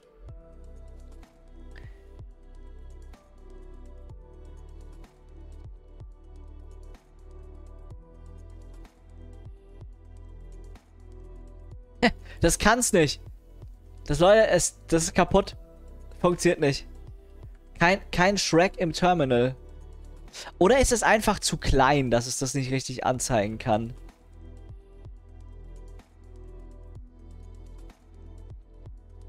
Oh, oh, oh, oh. Mein Terminal. Oh shit, die VM crasht halb.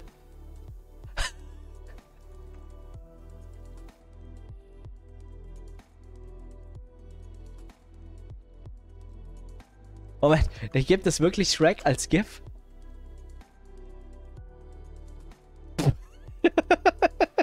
Alter, die Leute, Mann. Kick, Alter. Okay, mal gucken, ob, mal gucken, ob das geht. Hey, das funktioniert!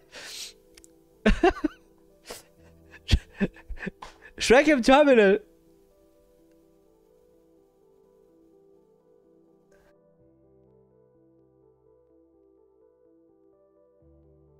Jetzt müsst ihr, jetzt müsst ihr nur noch gucken, ob man hier irgendwie den die Geschwindigkeit einstellen könnte. Aber das geht, glaube ich, nicht. Ich, ich glaube, ey, also wenn das Monka Toss ist, dann weiß ich auch nicht. Aber warum funktioniert denn das andere nicht? Außer, dass mein Rechner voll am Abkacken ist. Könnte das an der Höhe und so liegen, dass man dann sagen muss, hier mal minus minus width 80 80, 80, das vielleicht so? Nee, das funktioniert. Ja, aber das andere funktioniert.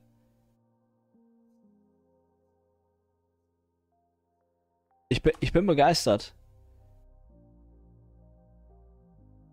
Shrek im Terminal.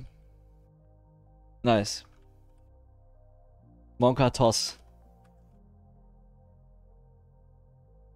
Äh, nicht, dass es einfach die Reddit-Page runter... Ah, du hast recht. Du hast recht, du hast recht. Hat mal.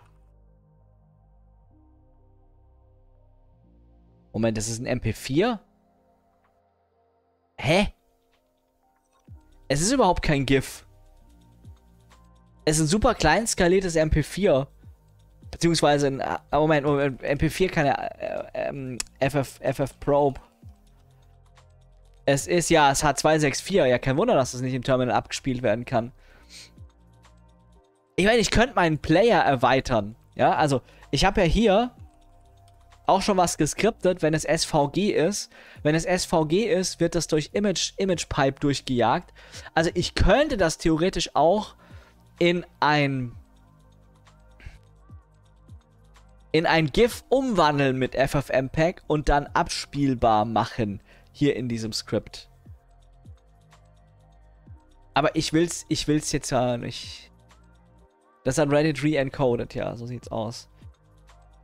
Ja, also mit, mit FFmpeg müsste das so funktionieren. Wir probieren das mal aus. FFmpeg.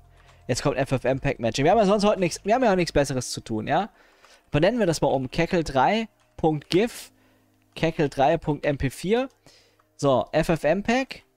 Bin ich mal gespannt hier. Tackle 3.mp3. So, jetzt holt er sich das erste. Guck mal, ob das funktioniert. Oh, shit!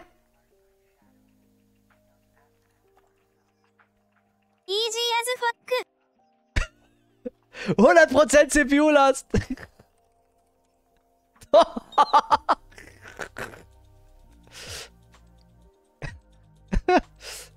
okay. Okay. Shrek MP4. Vielleicht keine so gute Idee gewesen. Ähm. Äh. GIF. Okay, no chance. Keine Chance.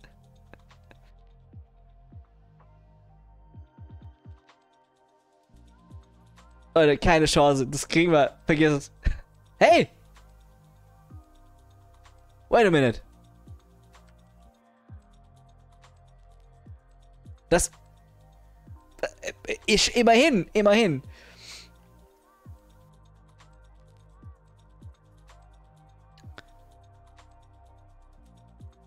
Wir machen, mal, wir machen das mal kurz weg.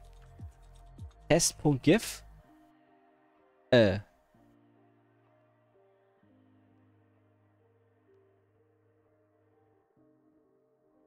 Okay.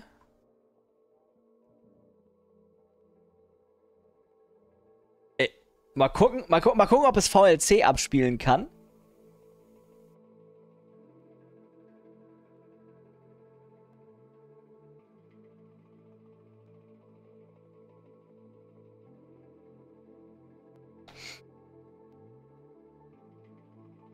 Es ist allen Ernstes in, in 30 mal 30, 60 mal 60 GIF encoded von Shrek.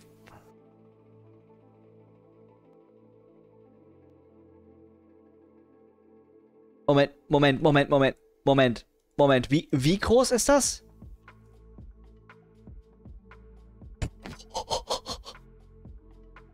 Ups. Das ist einfach fast schon gig groß mittlerweile. Als GIF encoded. Und er hat erst 30 Minuten. Wie lang ist denn das? Eineinhalb Stunden, ne? Das ist am Ende 3 Gig groß. Okay, das wird es nicht abspielen können. Das glaube ich nicht. Das glaube ich nicht, dass er es am Ende abspielen kann. Der, der wird, der wird, der wird doch kein, der lädt doch kein GIF irgendwie mit, mit 3 Gig Größe.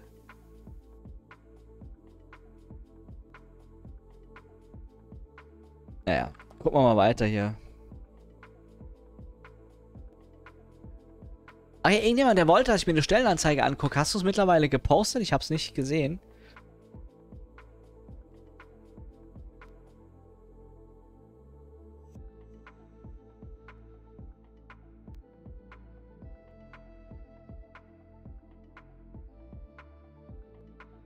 Habt ihr private Daten in der Cloud? Ich habe mein Steuerzeug bei Google Drive liegen. Weil ich den Ordner mit meinem Steuerberater geshared habe.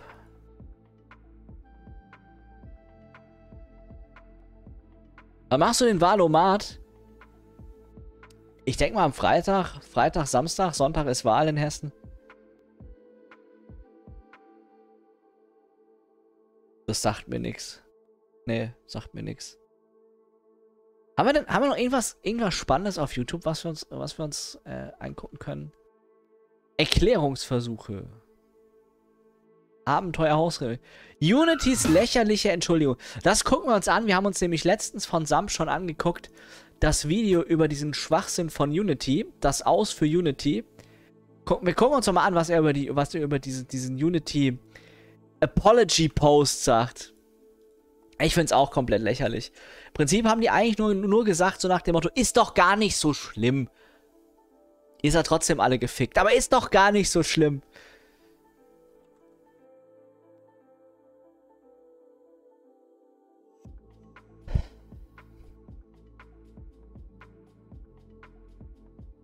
Was ist denn Vidi?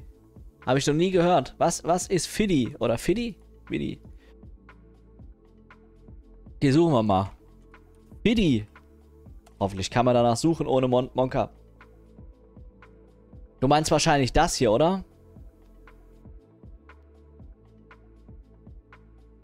A Modern Watch Command. Oh nein, oh nein. Written in Rust. Nicht wieder irgendwas sinnlos re re rewritten in Rust. Go, ah, okay, written in Go. Naja, gut. Ja, aber. Also, warum, warum exactly muss man Watch replacen? Okay, was kann es denn mehr? Außer irgendwie komische Dinger?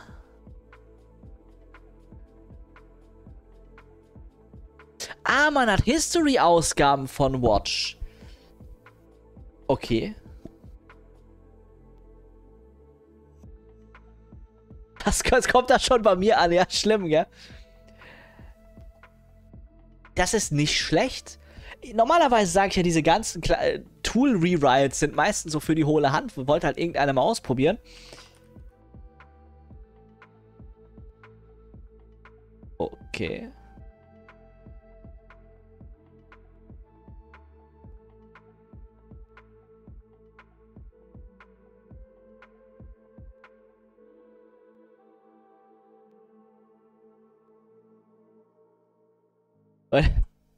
Oh shit, meine VM. Ma Lädt es jetzt wirklich alles in RAM gerade? Ja, ja, ja, Leute, das, das, lädt das, das lädt das komplette GIF in RAM. Guck mal. Es, es hat schon 2 Gig im RAM. Gleich geht's los. Zum Glück habe ich 24 Gig RAM in der VM. Oh nee, es ist gecrashed. Shit. Ja, das wird, das wird wohl nix. Ah, Moment, ich habe ja, habe ich gar nicht mehr. Ja, es ist, es crashed. Das finde ich aber cool. Eine History, wie gesagt, normalerweise bin ich ja der Meinung, dieses Rewrite, wir, re, wir rewriten alles in Rust, einfach weil wir es können, ist relativ sinnlos. Aber das hier finde ich in der Tat ganz cool, weil du eine History von den Commands hast. Das ist praktisch, weil oftmals machst du ein Watch auf irgendwas und denkst, äh, was, was, was war da gerade? Und dann siehst du es nicht mehr. Also der His äh, die History finde ich cool. Das ist, das ist wirklich nice. Ob das, das Dumme ist, dort wo man es braucht, ja, also auf irgendeinem Linux-Server, ist es nicht drauf. Das heißt, man müsste das Kommando quasi über SSH starten und dann Vidi lokal benutzen. Aber, aber nice. Finde ich, gefällt mir.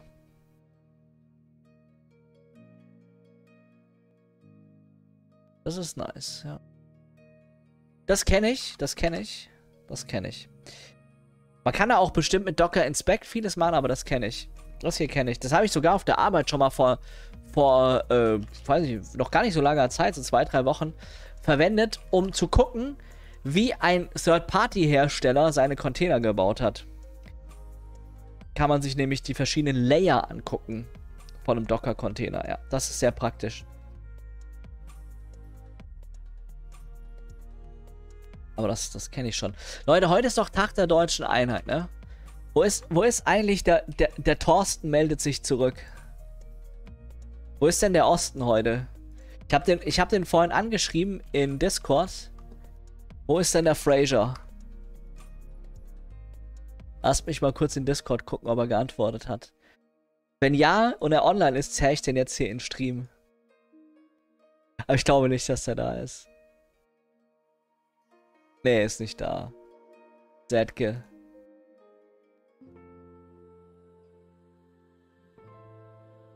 Saatge. Kein Fraser am Start. Na gut.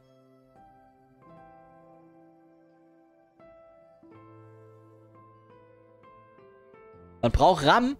Also wofür man so viel RAM in der VM braucht, kann ich dir ganz einfach beantworten. Weil man es viel zu sehr übertrieben hat mit seinem Rechner und der RAM-Ausstattung. Guck mal. Ich habe ich hab 64 GB RAM im Rechner und ich habe schon wirklich großzügig Tabs offen. Mehrfach.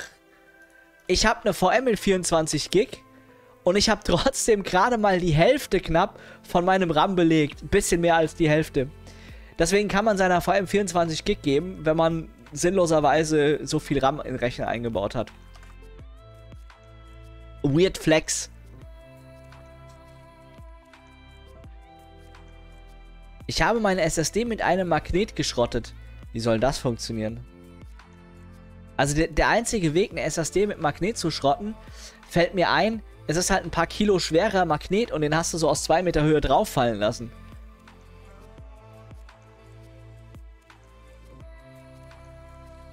Ansonsten fällt mir da nichts, fällt mir da nichts ein. Wenn der Magnet nicht so schwer ist, dass er die SSD physisch zerstört.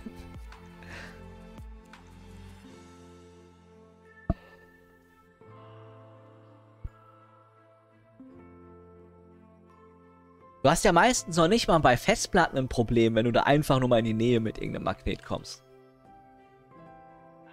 Das war ja so ein Gerücht früher so. Oh, Magnet dran gehalten, Festplatte. Mag vielleicht bei den ganz alten so gewesen sein, aber schon eine ganze Weile nicht mehr so.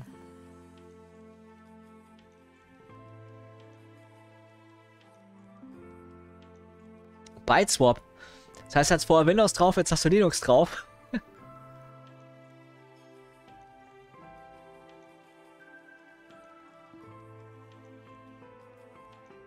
also glaube ich nicht, dass es am Magnet liegt, dass deine SSD kaputt ist. Ich glaube, du hast die eher in die Kontakte irgendwo geschrammt äh, von deiner M2 SSD oder irgendwas. Ich kann mir nicht vorstellen, dass das am Magnet lag. Liegt. SATA SSD. Max, kennst du für ZSH in macOS gute Themes? Ich, ich, ich kann dir ein gutes, äh, gutes ZSH-Theme geben, aber das ist ja nicht macOS-spezifisches. Du kannst meins verwenden. Das ist Starship mit... Starship mit... Dieser Config. Sieht dann so aus. Ah, du kannst sogar Repos. Du bekommst sogar angezeigt, was das Ding für eine .NET-Version hat, was du installiert hast und was du target targetest. Das Feuer ist schon. Was macht eigentlich Alpha 4 Games? Lange nichts mehr. Ja, gibt nichts Neues. Doch, warte mal. Vor einem Tag. Hyenas. Alter, dieses Game, das hat doch nie jemand interessiert. Und jetzt wurde es eingestellt. Das habe ich auch mitgekriegt. Wo ich mir denke so, äh, war mit zu rechnen, oder? Lass mich mal kurz rebooten. Ja, beste. immer schön starren alles auf, auf Shit-Up.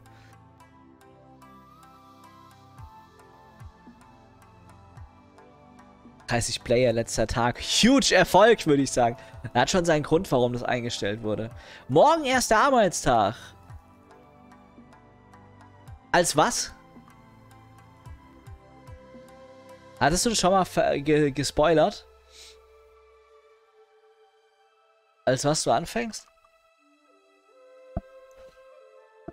Ich meine, unter, unter Five, Five Head Senior äh, Windows-Architekt ist ja da wahrscheinlich nichts.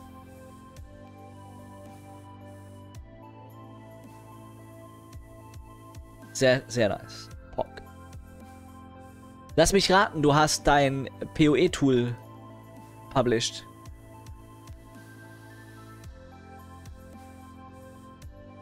Java Software Engineer Richtung Software Architekt. Siehste? War ich schon gar nicht so verkehrt. Nice. Exzellent. Dann ist am Morgen richtig Java Hackermans angesagt, würde ich sagen. Ich hatte irgendwo auch ein Java Emote. Aber ich finde es nicht. Doch, jetzt. Kannst du mal das Dot-Files Repo updaten? Kann ich, aber da hat sich so gut wie nichts dran geändert. Nicht viel.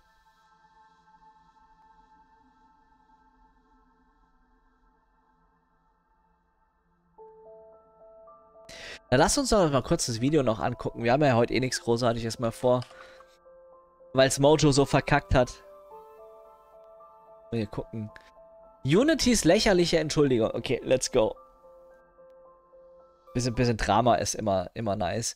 Zumal Unity es auch so mega verkackt hat und die Entschuldigung auch so lächerlich ist. ich, dass, ich, dass ich ihnen fast schon wünschen würde, einfach, dass sie jetzt abkacken. Ihr müsst euch mal vorstellen, ja.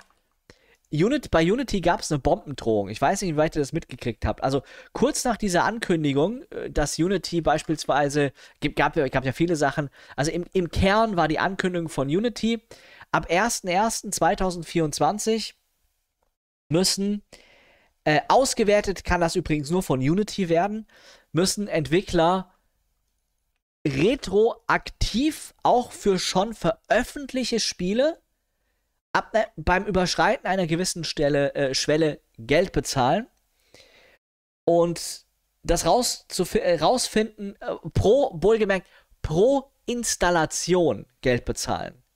Nicht irgendwie pro Verkäufe, pro Installation.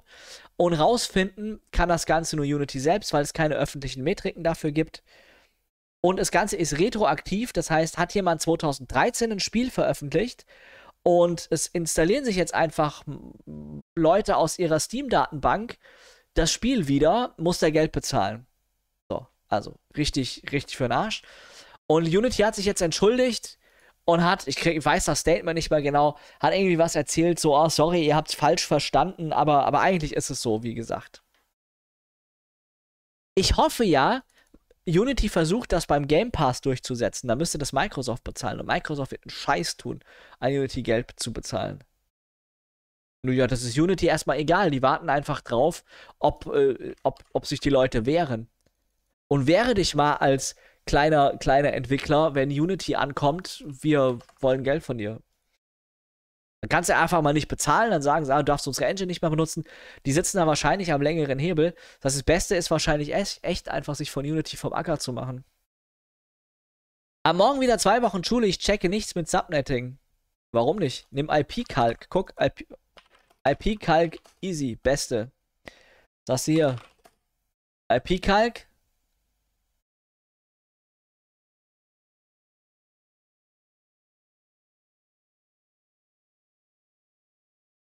Hast du IP-Calc?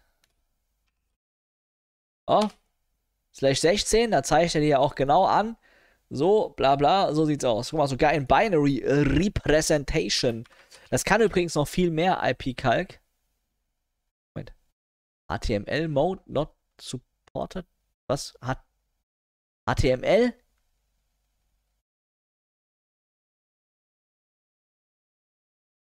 Moment. Das kenne ich noch gar nicht. GitHub, IP-Calc. Oh nee, ich habe das Laggy. Mist, Leute. Ich habe das Laggy, äh, Laggy-Kernel gestartet und nicht den LTS. Fuck. Version? Okay. Äh. Minus HTML? Minus, minus HTML? Tatsächlich. Oh. Cackle.html, Firefox.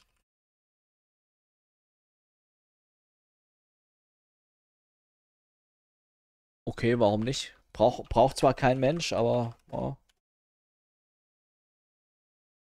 Huge, ja. So, und du kannst da noch viel mehr dir anzeigen lassen. Die Hälfte steht da gefühlt gar nicht drin.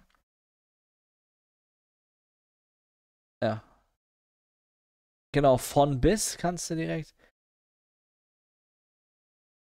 Minus, minus Split.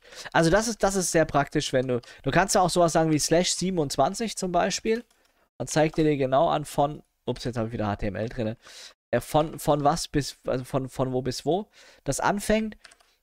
Und du, wie gesagt, mit minus S kannst du dann auch irgendwie, irgendwie splitten lassen in 15, 16 oder sowas, genau. Also es ist sehr praktisch, das Ding.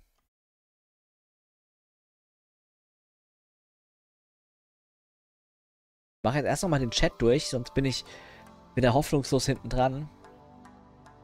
Ja, genau. Also es gab, es gab bei Unity eine Bombendrohung nach diesen Ankündigungen.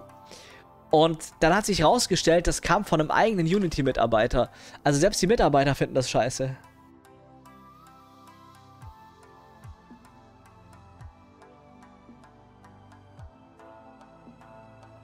Coole Tab-Leiste. Meinst du die hier? Da geht was. Ja, dann wünschen wir dir alle hier, gell, Chat? Wir wünschen dem Captain Poggers viel Erfolg morgen auf seiner neuen Arbeit. Ihr müsst jetzt einmal alle, oder es, es wäre sehr schön, wenn ihr euren Support zeigt mit einmal Mod-Check im. Einmal Mod-Check im Chat. Für den Captain Poggers. Als neuer Senior Solution Java Five-Head Architekt.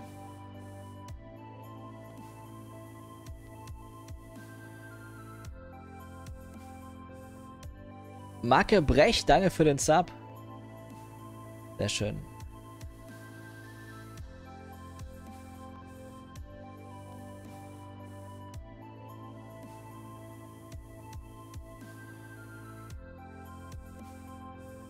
Das war das letzte Mal aber noch anders.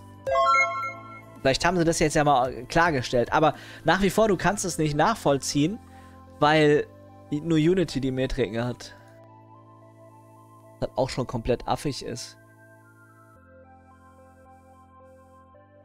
Silent Pain, danke für den Sub. Exzellente Subscriptions, Leute. Das ist sehr... Nice. Na, nice.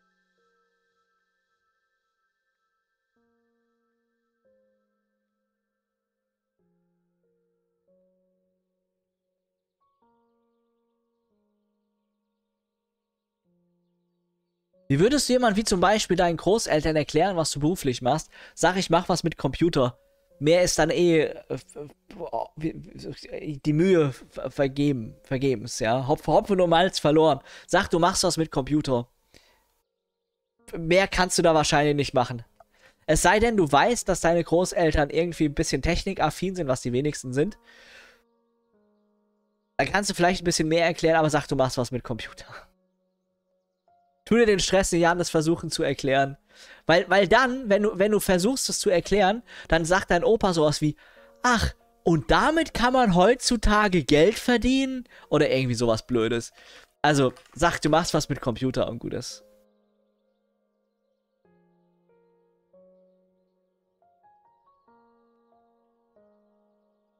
ist. Ist es normal, dass Netzwerklehrer manchmal komisch drauf sind? Generell sind Berufsschullehrer komisch drauf. Niemand hat Bock, Berufsschullehrer zu sein. Eh gut, kommt drauf an, was er gemacht hat, aber Berufsschule ist eh für den Arsch. Richtig räudig, Alter, Berufsschule. So richtig unsinnig. Also dafür, das große Vorteil bei Berufsschule ist, es ist Easy as fuck. Easy. extremely Easy as fuck. ist Berufsschule. Also, wer, ganz ehrlich, wer da Fünfer und Sechser schreibt, dem ist echt nicht mehr zu helfen. Haben wir an- any Fünfer und Sechser Schreibers in der Berufsschule hier? Dass ich euch mal öffentlich auf Twitch im Chat flamen kann. Nein, ich flame hier keinen.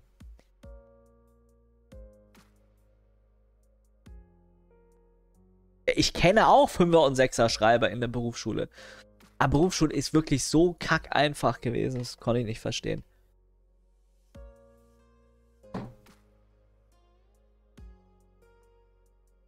Ja, zu Recht wahrscheinlich. Gut, dann gucken wir uns mal an. Was gibt es denn Neues von Unity? Beziehungsweise was sagt Samp zur Unity-Entschuldigung? Außer, dass sie lächerlich ist, die ich auch schon, die ich auch schon gesagt habe. Du, du, du, du, du, du, du. In einem Paralleluniversum würde ich jetzt ein Video machen und Unity applaudieren, wie sie mit guten Entscheidungen und Änderungen das Ruder rumgerissen haben, man wieder anfangen kann, ihnen zu vertrauen und die Engine von dem Untergang gerettet ist. In diesem Paralleluniversum leben wir aber leider nicht. Stattdessen kam nach langem Zögern eine Entschuldigung von Unity, Es ist ja, ich muss jetzt mal kurz, ich muss jetzt mal kurz stoppen, ja. Ich finde es ja mittlerweile so hochgradig lächerlich mittlerweile, was generell so in der, in der Gaming-Branche abgeht. Es, es ist ja bei vielen Releases schon der Entschuldigungsbrief geschrieben, bevor das Game rauskommt.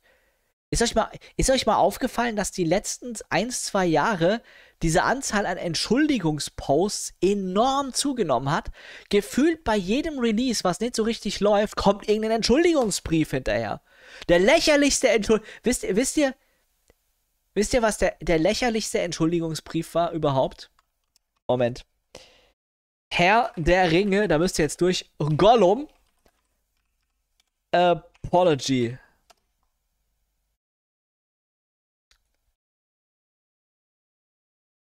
Oh, wenn ich das schon sehe, Mokets.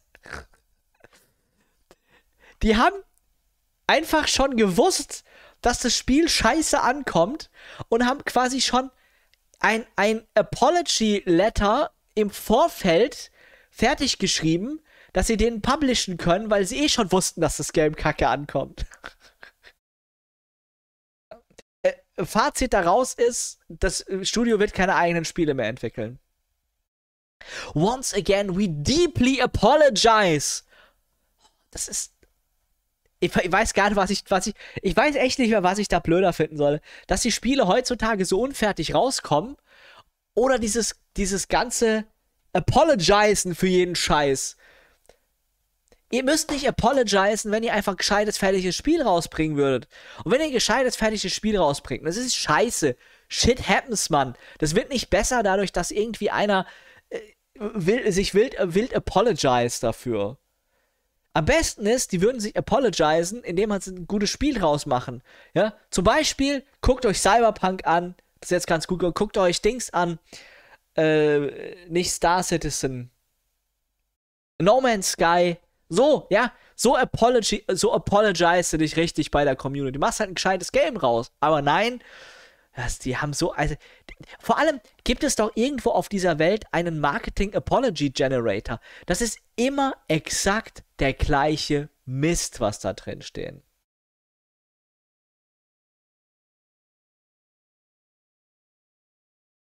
Allow you to enjoy the game to its fullest potential.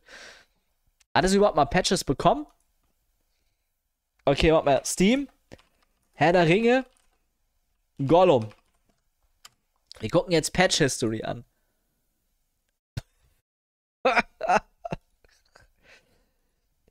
Wie die Screenshots einfach auch schon kacke aussehen.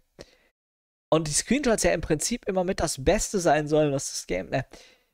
Also, so, Moment. Wo, wo, ist die, wo ist denn die Patch History? Das finde ich immer auf, auf Update History, okay. Major Patch.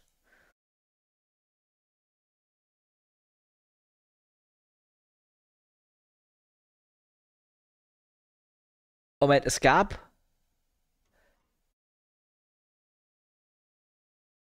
Äh, es gab einen Patch.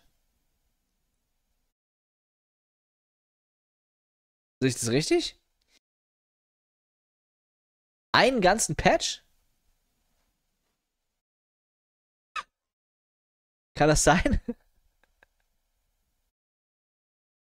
ja, die können nichts mehr patchen, aber da sieht man mal, wie viel man auf diese komischen Apology-Letter schon geben, geben kann. Jetzt ist das Game halt perfekt. Ein Patch. Ich finde ich find es so affig, diese, diese ganze Praktik, pra pra Praktiken da drumherum. Okay, jetzt gucken wir uns das Video an. Oh, und die Nokia-Übernahme, das war auch so ein Ding, äh. Uns das aber nicht an. Na gut, ist schon was dran irgendwo, ja. Ich meine, bei Microsoft ist das ähnlich. Die scheißen nicht umsonst so auf viele Produkte, die richtige Klassiker waren, so bei Microsoft immer, ja. Guckt euch an, Office ist mittlerweile fast ein reiner Cloud-Service geworden. Bleibt noch Windows übrig.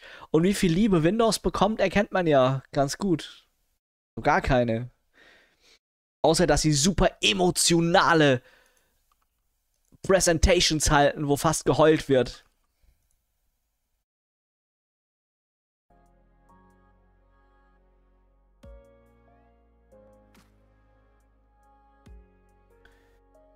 Ja, aber auch mit Terraform ist es ja ein Unterschied, in welcher Cloud-Plattform du bist. Also so ein. Ne, du hast zwar ein paar Überschneidungen, aber sagen wir so, GKE konfiguriert sich anders als ein. Wie heißt denn das? Wie heißt denn das Gegenstück bei, bei AWS? Ich kenne mich mit AWS nicht aus. Mein AKS ist es nicht. Das ist Mike, das ist äh, Azure. EKS, okay. Stimmt, bei denen heißt ja alles Elastic davor. Davor, ja. Was, also was mich, was mich bei AWS immer am meisten verwirrt, wenn ich da mal was drüber lese und höre, ist die Bezeichnung für alles. Klar, bei Google ist auch nicht unbedingt klar, dass BigQuery beispielsweise, ich glaube, dass es die neue SQL-Datenbank ist. Ein paar Sachen sind nicht so, aber zum größten Teil klingt das irgendwie passend und bei Azure auch halbwegs. Aber bei, Azure, äh, bei AWS hast du sowas wie äh, Route 53. So. Das ist halt richtig geek nice, weil DNS-Port 53, aber niemand checkt's, der es nicht weiß. Ach, das ist wirklich einfach übersetzt, okay.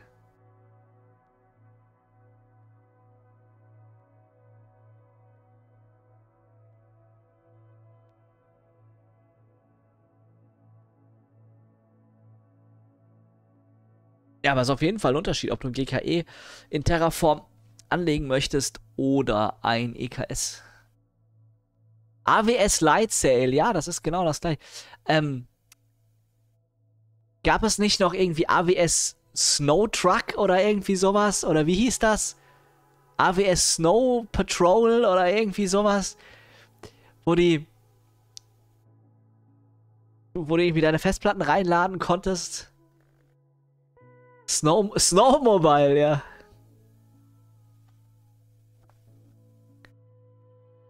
Ja, für die Festplatten.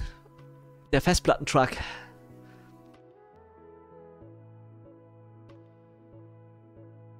Ja, das ist vielleicht jetzt in dem spezifischen Kontext ein bisschen blöd, aber zumindest erkennst du sofort am, anhand des Namens, dass sich irgendwas um Message Queue, Event Bus, irgendwie was in der Richtung handelt.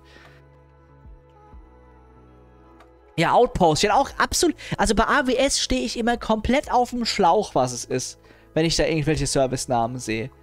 Keine Ahnung, ich habe wirklich keinen blassen Schimmer. Was ist AWS Outpost? SaaS quasi, oder wie? Also. Keine Ahnung. Das ist bei AWS. Das, das, das, das verwirrt mich immer bei AWS.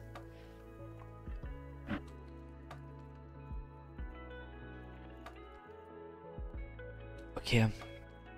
Ja, Leute, leider hat das mit Mojo heute nicht funktioniert. Aber ein Ubuntu extra dafür, nee, das sehe ich nicht ein. Ich warte mal ab, bis es den Krempel ordentlich zum Installieren unter Arch Linux gibt. Dann gucken wir uns das nochmal an.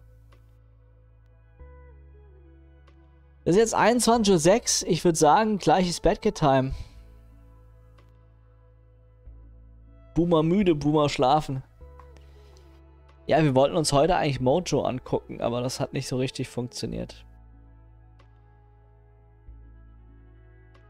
No Pass. Lass mich mal kurz angucken, wie es morgen aussieht. Ha!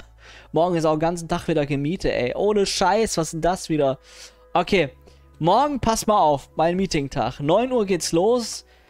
Äh, IT, Dingsbums, äh, äh, Leitungskreis, Vorstellung, irgendwas, Viertelstunde. Easy. Projekt Daily Scrum. Weekly Catch-up Call. Gruppenrunde. 11.30 Uhr bis 13.30 Uhr Super Top Secret Termin. 14 Uhr Teamrunde. Austausch- und Sync-Termin. 15 bis 16 Uhr. Ja, danach bin ich aber eh weg. Und dann, Keckel, da gehe ich nicht hin. Aber jetzt wollen sie es wissen. Lull. 16 Uhr bis 17 Uhr. Jour fix Projektsteuerung. Mhm, ganz bestimmt, ganz bestimmt. Und jetzt passt mal auf, es geht noch weiter. 17 bis 18 Uhr Statusabnahmeumgebung. die können mich mal gerne haben. 16 Uhr bin ich weg. Ich, ich glaube, es geht los, Alter. Sind die von allen guten Geistern verlassen oder was? Keck bei. Also 16 Uhr, spätestens 16 Uhr ich, bin ich fort. 16.20 Uhr, 16.25 Uhr fährt der Zug. Okay, ratet mal, was ich morgen arbeiten werde. Also das geht los um 9. Nix, richtig, nichts. Ich hab, ohne Scheiß, es ist, es ist von 9 bis 9.15 Uhr, von 9.30 Uhr bis 9.45 Uhr, von 11.30 Uhr bis 11 Uhr, von 10.35 Uhr bis 11.25 Uhr, überschneidet sich sogar. Von 11.30 Uhr bis 13.30 Uhr von 14 Uhr bis 15.25 Uhr.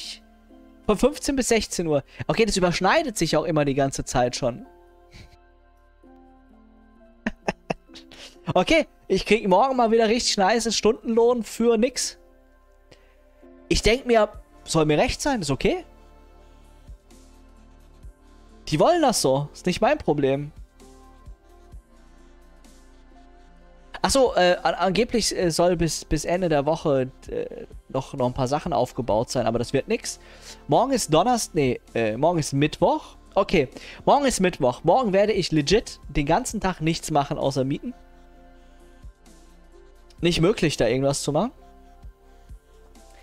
Donnerstag.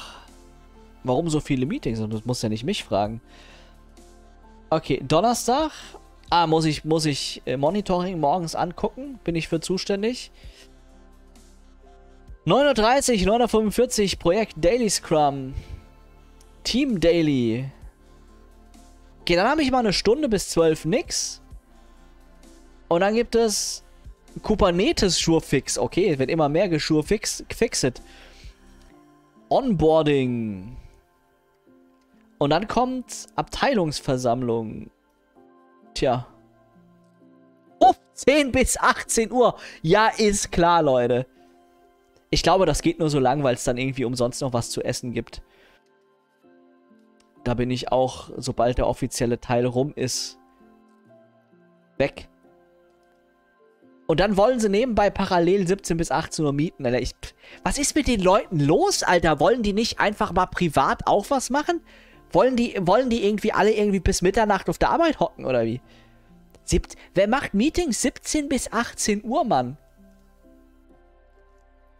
Ich versteh's nicht. Geh ich nicht hin. Also vielleicht, je nachdem, wenn die Abteilungsversammlung ein bisschen länger geht, fahre ich vielleicht einen Zug später. Kommt bestimmt ein paar ganz interessante Sachen rum. Aber das heißt, ich mache am Donnerstag auch nicht wirklich was. Außer vielleicht mal eins, eineinhalb, zwei Stunden maximal. Nice. Bleibt ja noch Freitag übrig. Gucken wir mal, wie es Freitag aussieht. Wie sage ich Nein zu sowas? Äh, entweder, entweder Nein sagen oder mach so wie ich. Geh einfach hin und chill dein Leben, weil die wollen es so. Und kassier Geld dafür, dass du halt nichts machst. Nicht, dass du auf Verlangen nichts machst. Kann ich ja nichts für. Ich find's auch kacke, ja. Ich, ich würde auch lieber gern Technikkrams machen. Aber wenn die von mir wollen, dass ich quasi nichts arbeite, also auf Verlangen nichts arbeite, dann arbeite ich auch nichts. Ist okay. Geld gibt's trotzdem. So, mal gucken, ob ich Freitag. Mal gucken. Oh, nee, nee, nee, Leute, das ist Spaß. Okay, Freitag. Freitag geht's weiter. Okay, Daily, Daily Scrum fürs Projekt. Die sagen da nichts. Die wissen, dass ich 16 Uhr spätestens weg bin. Nö. Also da wird, also ja, die Sachen, die dir zu spät sind, entweder sagst du die ab oder nimmst das Meeting einfach erst gar nicht an. Nee, also 17 Uhr gehe ich nicht. Ich gehe, also nach allen Meetings nach 16 Uhr gehe ich nicht hin. Okay, es sei denn, es ist eine jährliche äh, Abteilungsversammlung oder so, kann man das mal machen. Aber ansonsten ist nix. Ich meine, ich bin ganz normal 7 Uhr da. Und meine Arbeitszeit ist irgendwann halt auch mal vorbei. So gegen 15.30 Uhr, spätestens 16 Uhr. So, mal gucken, ob ich Freitag Zeit habe, was zu machen. Also, geht schon mal gut los mit Projekt Daily und Team Daily. Also von 9.30 Uhr bis 10.15 Uhr wird komplett gedailyt. Dann gibt es Ah, oh, da habe ich ja Bock drauf. Dann geht's weiter. 10 Uhr, 10 Uhr bis 11 Uhr Erklärung Change-Prozess. Oh. Keck, Keck Business Zeug. Oh, ja, ja, ja, ja. Ja, das ist also nicht nur für mich, weil ich neu bin, sondern das kriegen alle dort erklärt. 10 Uhr bis 11 Uhr Change-Prozess, neuer Change-Prozess.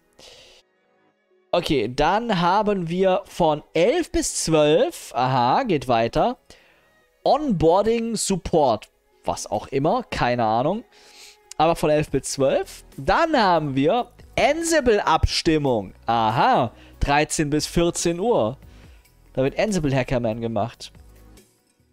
Dann haben wir unseren Friday Call für das Team.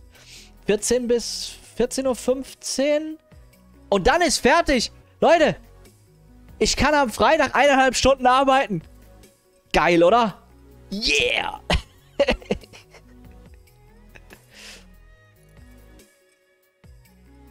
Ich habe schon einen Blocker eingetragen. Ich habe einen Blocker drin. Ich habe aber jeden Tag einen Blocker drin. 15.30 Uhr bis 7 Uhr am nächsten Tag habe ich immer einen Blocker drin, dass mir keiner so späte Meetings reindrückt. Machen sie trotzdem. Aber dann gehe ich halt einfach nicht hin.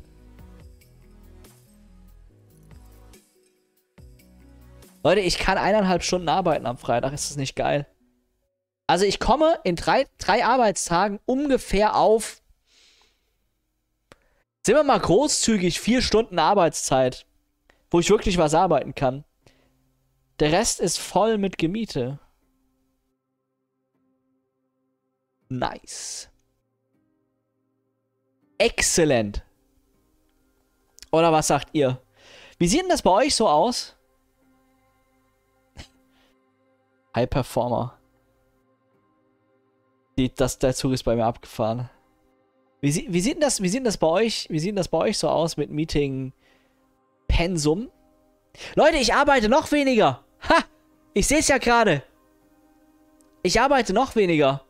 Weil ich habe sowohl Donnerstag als auch Freitag ähm, Monitoring, Frühschicht, äh, Überwachungsdienst.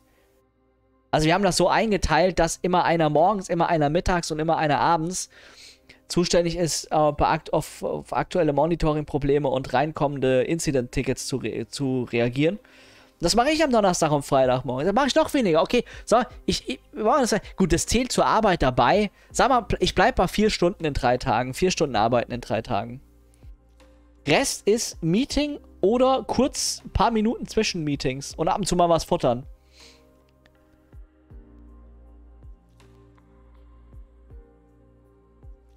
Was der? Ja, das geht ja bei euch. Also ihr habt es jetzt gesehen, bei mir ist das fast jede Woche so. Also ich habe bestimmt 50% der Zeit Gemiete. Das kommt, denke ich, gut hin, 50% der Zeit. Wird in den Meetings nicht deine Expertise gefordert? Doch, ab und zu schon, aber das ist meistens ist eigentlich sehr gechillt. Wenn es um irgendwelche Technik-Themen geht, gebe ich da mal meinen Senf dazu.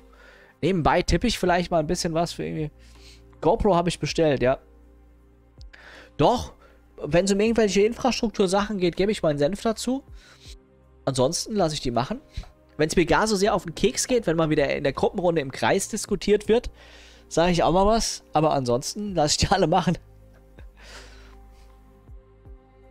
Ey, ich meine, was, was. Es gibt ja nichts, worüber man sich beschweren könnte im Endeffekt. Also aus Arbeitgebersicht. Die wollen, dass ich da hingehe. Ich gehe da hin und ich kriege Geld dafür. Für alle Beteiligten top. Es ist im Prinzip äh, bezahltes Däumchen Größten Teil der Meetingzeiten. Also wollen es so. Was soll ich machen? Ich finde es auch nicht toll. Aber ich finde es auch nicht so schlimm. Es ist ja ihre Entscheidung, was, was, die, was die mit der Arbeitszeit machen.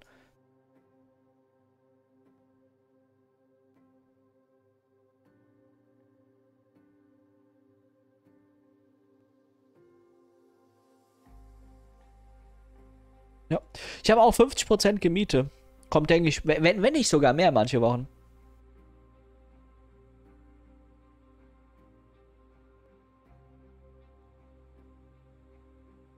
Ja, wie gesagt, die GoPro habe ich bestellt. Ist sogar schon da. Ging hyper schnell.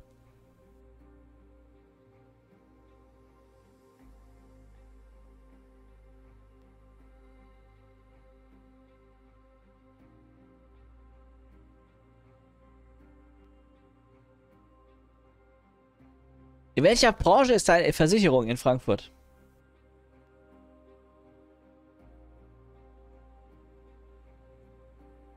Eine Versicherung in Frankfurt.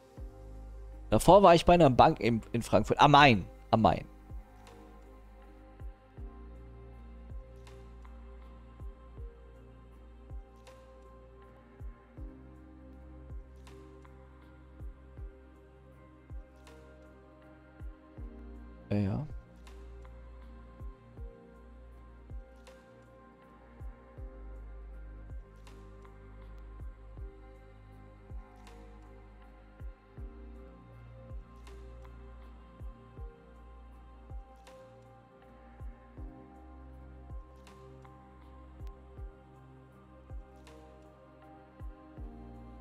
Äh, die GoPro war gestern sogar schon da.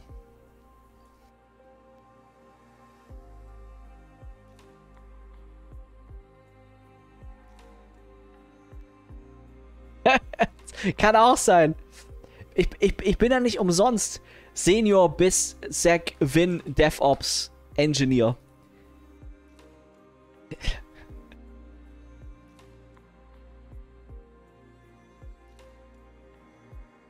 Ein Valomat machen wir nicht jetzt.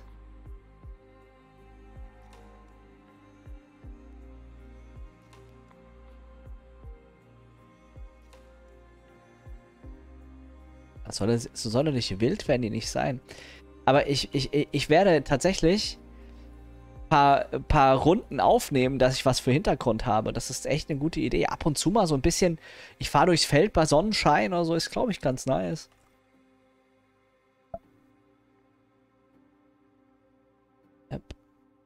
Yep, Clock, Leute.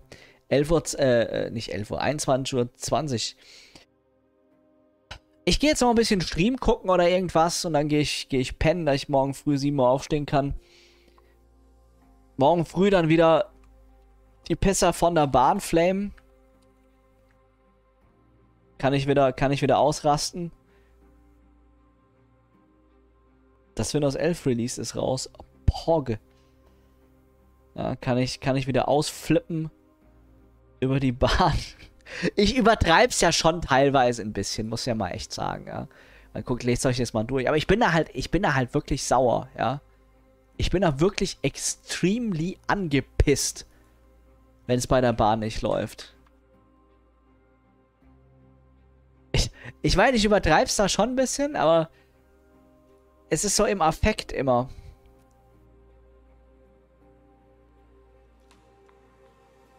Passiert denn da?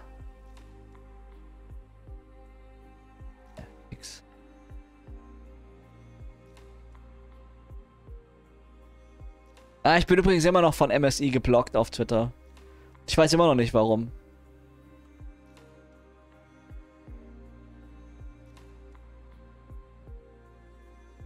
Äh, Twitter, Twitter-Reader, der nicht so nervig ist wie Twitter. Ich weiß wirklich nicht warum. Ich habe mal einen Witz gemacht über ein RGB-Mainboard, das ist Jahre her. Vielleicht haben sie mich deswegen geflammt, sonst hatte ich mit MSI nie was zu tun.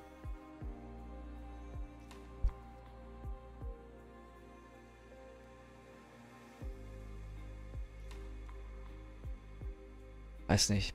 Okay, Leute. Wir hören uns. Macht's gut, bis dann. CU.